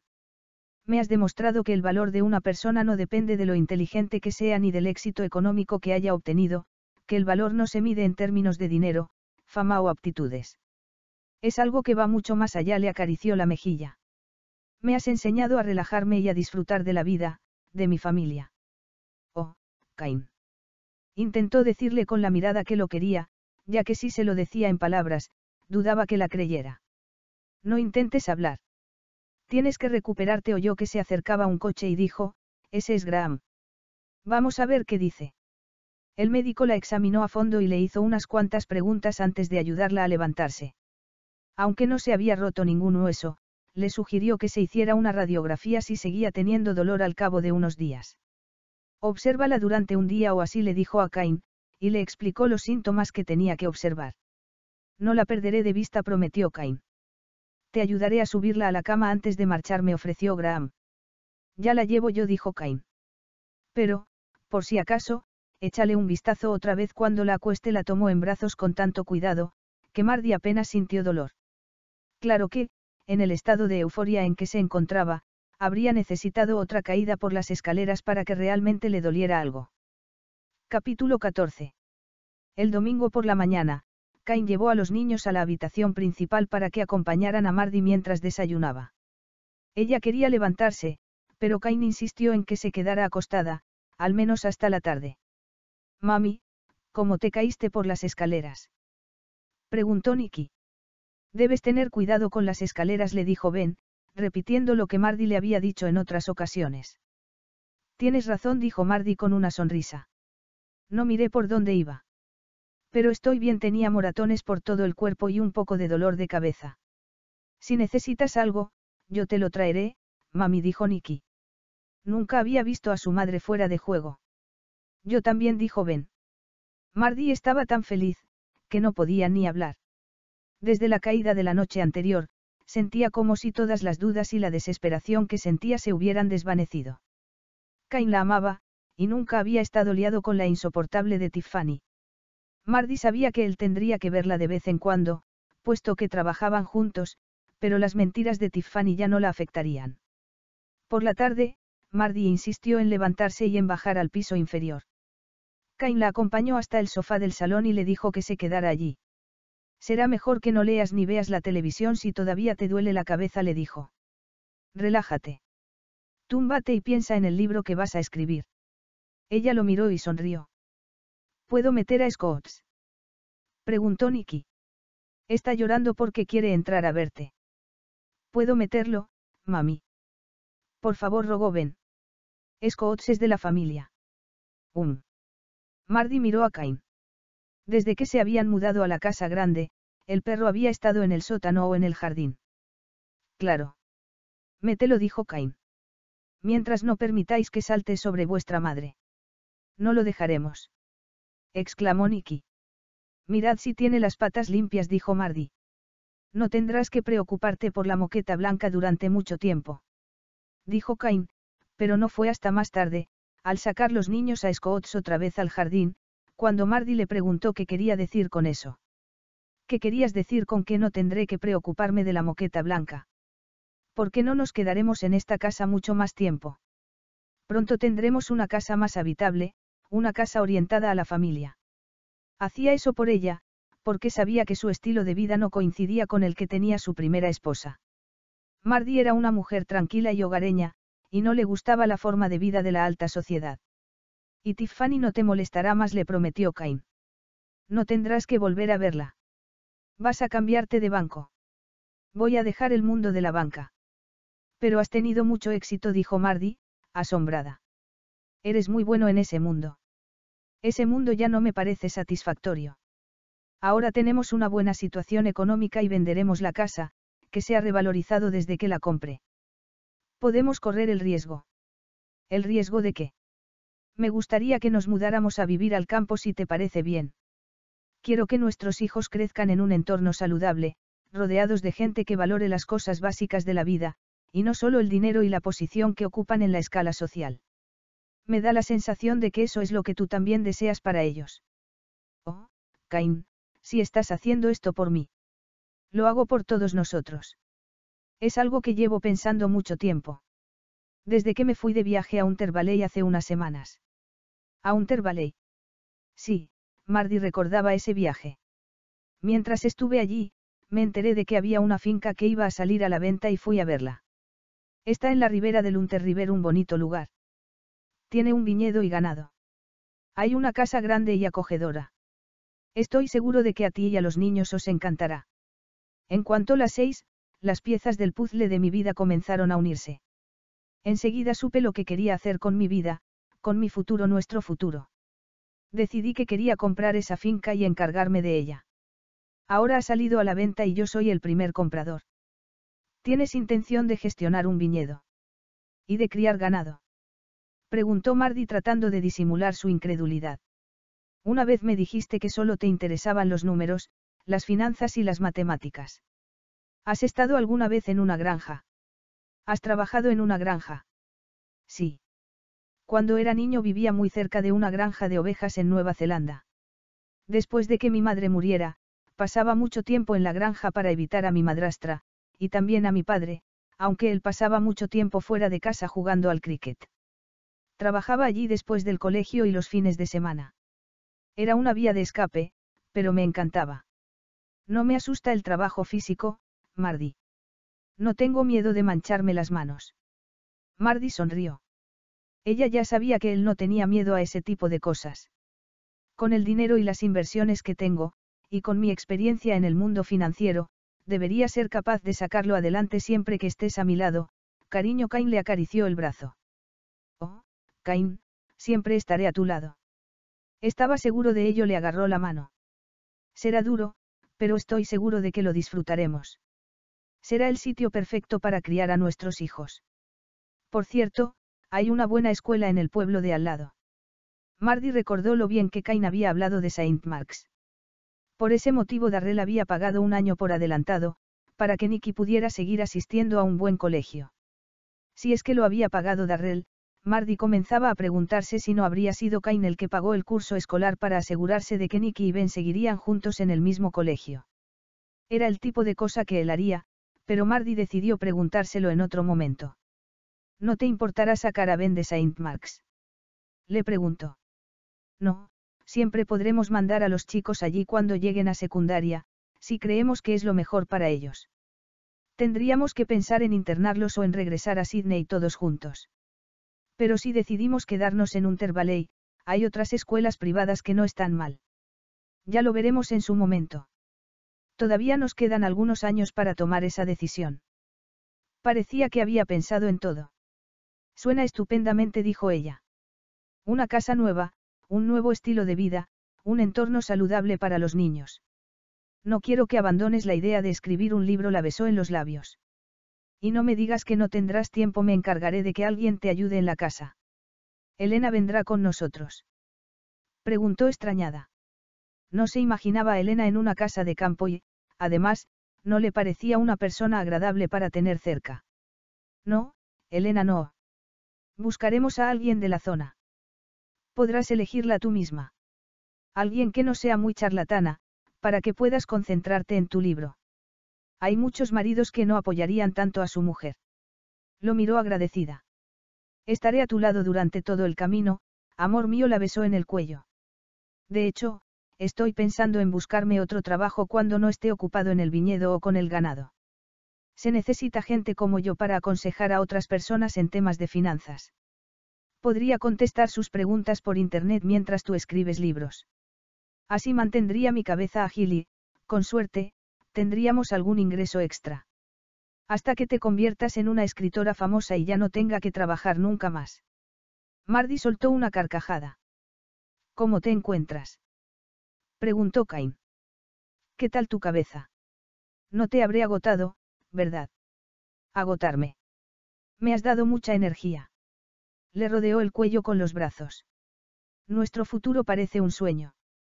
No es un sueño, Mardi murmuró Cain. A menos que sea un sueño convertido en realidad. Lo es, dijo ella con brillo en los ojos. Te quiero, Cain. Sus palabras se ahogaron en el momento en que Cain la besó en los labios. Te quiero con todo mi corazón. Epílogo. Cuando el Anta 747 aterrizó en el aeropuerto de Auckland, Mardi notó que Cain estaba tenso. Él solo había ido a Nueva Zelanda por el bien de ella y por el de Ben. Pero había cumplido la promesa de hacer el viaje durante las vacaciones escolares, antes de que se mudaran a Unter Valley. No quiso decirle a sus padres que iría a visitarlos. Se pondrán como locos y nos dirán que no nos molestemos. Es mejor si aparecemos allí. Alquilaron un coche para llegar a casa de los padres de Cain. Puesto que su padre se había retirado unos años atrás, el matrimonio se había ido a vivir a las afueras de la ciudad. Brenda, la madrastra de Cain, abrió la puerta. Cuando vio a Cain, se quedó de piedra. ¿Qué estás haciendo aquí? Yo también me alegro de verte, Brenda dijo Cain. Está mi padre en casa. Tu padre está enfermo. Y no se te ocurrió decírmelo. Él no quiere que nadie lo sepa. Ya sabes cómo son los medios de comunicación cuando se enteran de que alguien famoso está enfermo. Comienzan a escribir tu esquela, y los periodistas acampan en la puerta de tu casa como buitres hambrientos. Mardi podía comprender que Serman Templar quisiera privacidad. Era una leyenda en su país el jugador de cricket más famoso de Nueva Zelanda. Está muy enfermo. Preguntó Cain. Tiene la gripe. Y bronquitis. Está dormido Brenda no los invitó a pasar. Debiste avisarnos de que venías. Para que pudieras decirme que no viniera. ¿Quién está en la puerta, Brenda? Gritó alguien desde el interior. Hay mucha corriente. ¿Quieres que me agarre una pulmonía? Cain hizo pasar a Mardi y a sus hijos hasta el interior de la casa. Su padre estaba sentado en una butaca y tapado con una manta. ¿Eres tú? Serman tampoco parecía contento de verlo. Miró a Mardi y a los dos niños. Después se dirigió a Cain. Has enterrado a tu ostentosa esposa. Cain rodeó a Mardi por la cintura. Silvia murió el año pasado, padre. Esta es Mardi. Nos casamos hace un mes. Y su hijo, Nicky nuestro hijo señaló a los niños. ¿Te acuerdas de Ben, padre? Ben dio un paso adelante. Eres mi abuelo. Papá dice que te he visto antes, pero yo no me acuerdo. Eras demasiado pequeño como para acordarte, dijo Sherman. Ben le dio un pequeño paquete a su abuelo. Esto es para ti, abuelo. Lo he hecho yo. Espero que no sea chocolate, dijo Brenda desde atrás. No puede comer chocolate. Yo no sé hacer chocolate, le aseguró Ben. Vamos, abuelo, ábrelo. Una pelota. Es una pelota de cricket. No es de verdad, dijo Ben. Está hecha de papel mache. Con ella no se romperá nada de la casa, pero con una de verdad sí. Podemos jugar si quieres. Cain le contó que usted solía jugar al cricket, señor Templar le explicó Mardi. Ah, sí. El hombre parecía agradecido de que su hijo recordara su pasado. ¿Te gusta el cricket, Ben? Sherman, no empieces a tirar pelotas por la casa, dijo Brenda. Nicky y yo también tenemos algo para usted, señor Templar. Tú primero, Nicky. Nicky dio un paso adelante y le dio un paquete al padre de Cain. Mami dijo que a lo mejor le gustaría tener una foto nuestra. Como vivimos muy lejos y nunca lo vemos. Sherman aceptó el regalo y lo desenvolvió. El papel lo elegí yo, y yo lo envolví. Yo sacó la foto, es nuestro jardinero, y mami compró el marco. Sherman se quedó mirando la foto durante largo rato. Tu familia parece feliz, dijo al fin, y miró a Cain. Más feliz que cuando viniste aquí hace cuatro años. Soy más feliz, dijo Cain. He encontrado lo que buscaba. Es eso. Hace cuatro años también daba la impresión de que habías encontrado lo que buscabas, cuando apareciste después de muchos años para enseñarme a tu preciosa esposa y tu bebé, y para alardear de. Niños, ¿por qué no vamos a ver el jardín? Intervino Mardi. No quería que los pequeños oyeran aquello. Vamos, yo os acompaño. Brenda, llévalos tú, dijo Cain, y agarró a Mardi. Quiero que Mardi se quede aquí conmigo. Es hora de que os marchéis. Estáis cansando a Sherman. No quiero que se ponga peor.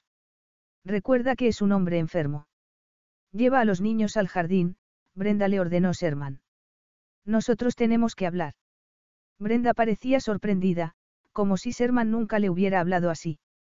Quizá era verdad que ella era la responsable de la mala relación que mantenían Cain y su padre. Sherman esperó a que salieran de la habitación, y dijo.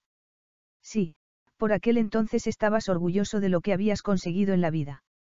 No viniste a verme, viniste a regodearte. Pero yo sabía que todo el dinero y el éxito que conseguiste no te hacía un hombre feliz. Querías algo más. Ella quería más. Me alegré cuando trajiste a tu familia al lugar de donde provenías. Sabía que estabas en el camino hacia el infierno. Por eso te metiste conmigo, porque sabías que estaba en el camino hacia el infierno. Mi carrera deportiva me dio mucha felicidad. Deseaba lo mismo para ti. Cuando te marchaste de Nueva Zelanda, perdí la esperanza que tenía puesta en ti. ¿Cuántos hombres ricos terminan felices y satisfechos con su vida? Tenía mis dudas. Y mis miedos se corroboraron cuando viniste a casa hace cuatro años. Cain estuvo a punto de hablar, pero Mardi le apretó la mano para que dejara terminar a su padre. Era evidente que tu carrera en el mundo de las finanzas, los millones que tenías, y tu matrimonio no te habían hecho feliz. En mi opinión, habías vendido tu alma al diablo. Tenías razón. No era lo que yo buscaba, solo que tardé un tiempo en darme cuenta, admitió Cain. Sherman se quitó la manta y se puso en pie. Has cambiado, tocó el brazo de su hijo, algo que no había hecho desde que Cain era un niño. Ella te ha hecho cambiar. Tu nueva esposa. Miró a Mardi con ternura. Me alegro de que hayas encontrado lo que buscabas. De que hayas encontrado la felicidad en tu vida. Yo también dijo Cain por primera vez en muchos años, sonrió a su padre. Después de todo, su padre se había preocupado por él. Incluso a lo mejor lo había querido, solo que no se lo había demostrado. Yo también repitió, y miró a Mardi. Ahora tengo a la mujer que buscaba, y dos niños, una familia a la que quiero. Y mi esposa y yo estamos a punto de embarcarnos en una nueva profesión en Untervalley. Hemos comprado una finca con viñas y ganado. Mientras yo me ocupe de ella, Mardi escribirá libros. Sherman se tambaleó y Cain lo agarró. Será mejor que te sientes otra vez, padre. Brenda me matará si te pones peor. No me pondré peor, dijo Sherman, pero se sentó. Sentaos y contádmelo todo. Pero antes quiero que sepas que estoy orgulloso de ti, Cain. Mejor será que esperes a ver si puedo tener éxito en mi nueva vida. No es de eso de lo que estoy orgulloso. Es porque te has convertido en el tipo de hijo del que se puede estar orgulloso independientemente de si triunfas en tu nuevo trabajo o no miró el paquete que Mardi tenía entre las manos y, como para dispersar la emoción que sentía, añadió, dijiste que habías traído algo para mí.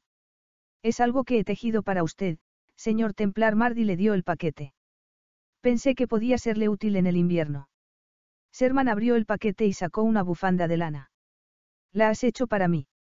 La gente suele traerme cosas que se compran sin ningún esfuerzo, como flores o chocolate. Agarró la pelota de cricket y la foto, y dijo, todos estos regalos requieren tiempo y esfuerzo. Y mucho cariño. Gracias. Siento que yo no te haya hecho nada, dijo Cain.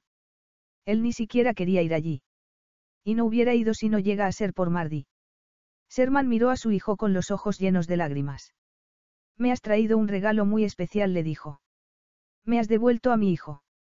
Cain se inclinó hacia adelante y agarró a su padre por los hombros. Lo mismo digo, padre. No digas nada más. Te entrará la tos. Ahora nos vamos, pero volveremos mañana. Vamos a estar tres días aquí. Después tenemos que irnos para empezar la mudanza. Mardi miró a Sherman y a Cain. Pensaba que iba a estallarle el corazón de pura felicidad, sobre todo por Cain. Ya no lo perseguirían los fantasmas del pasado. Y pasara lo que pasara en el futuro, se tendrían el uno al otro. Todos se tendrían los unos a los otros. Fin.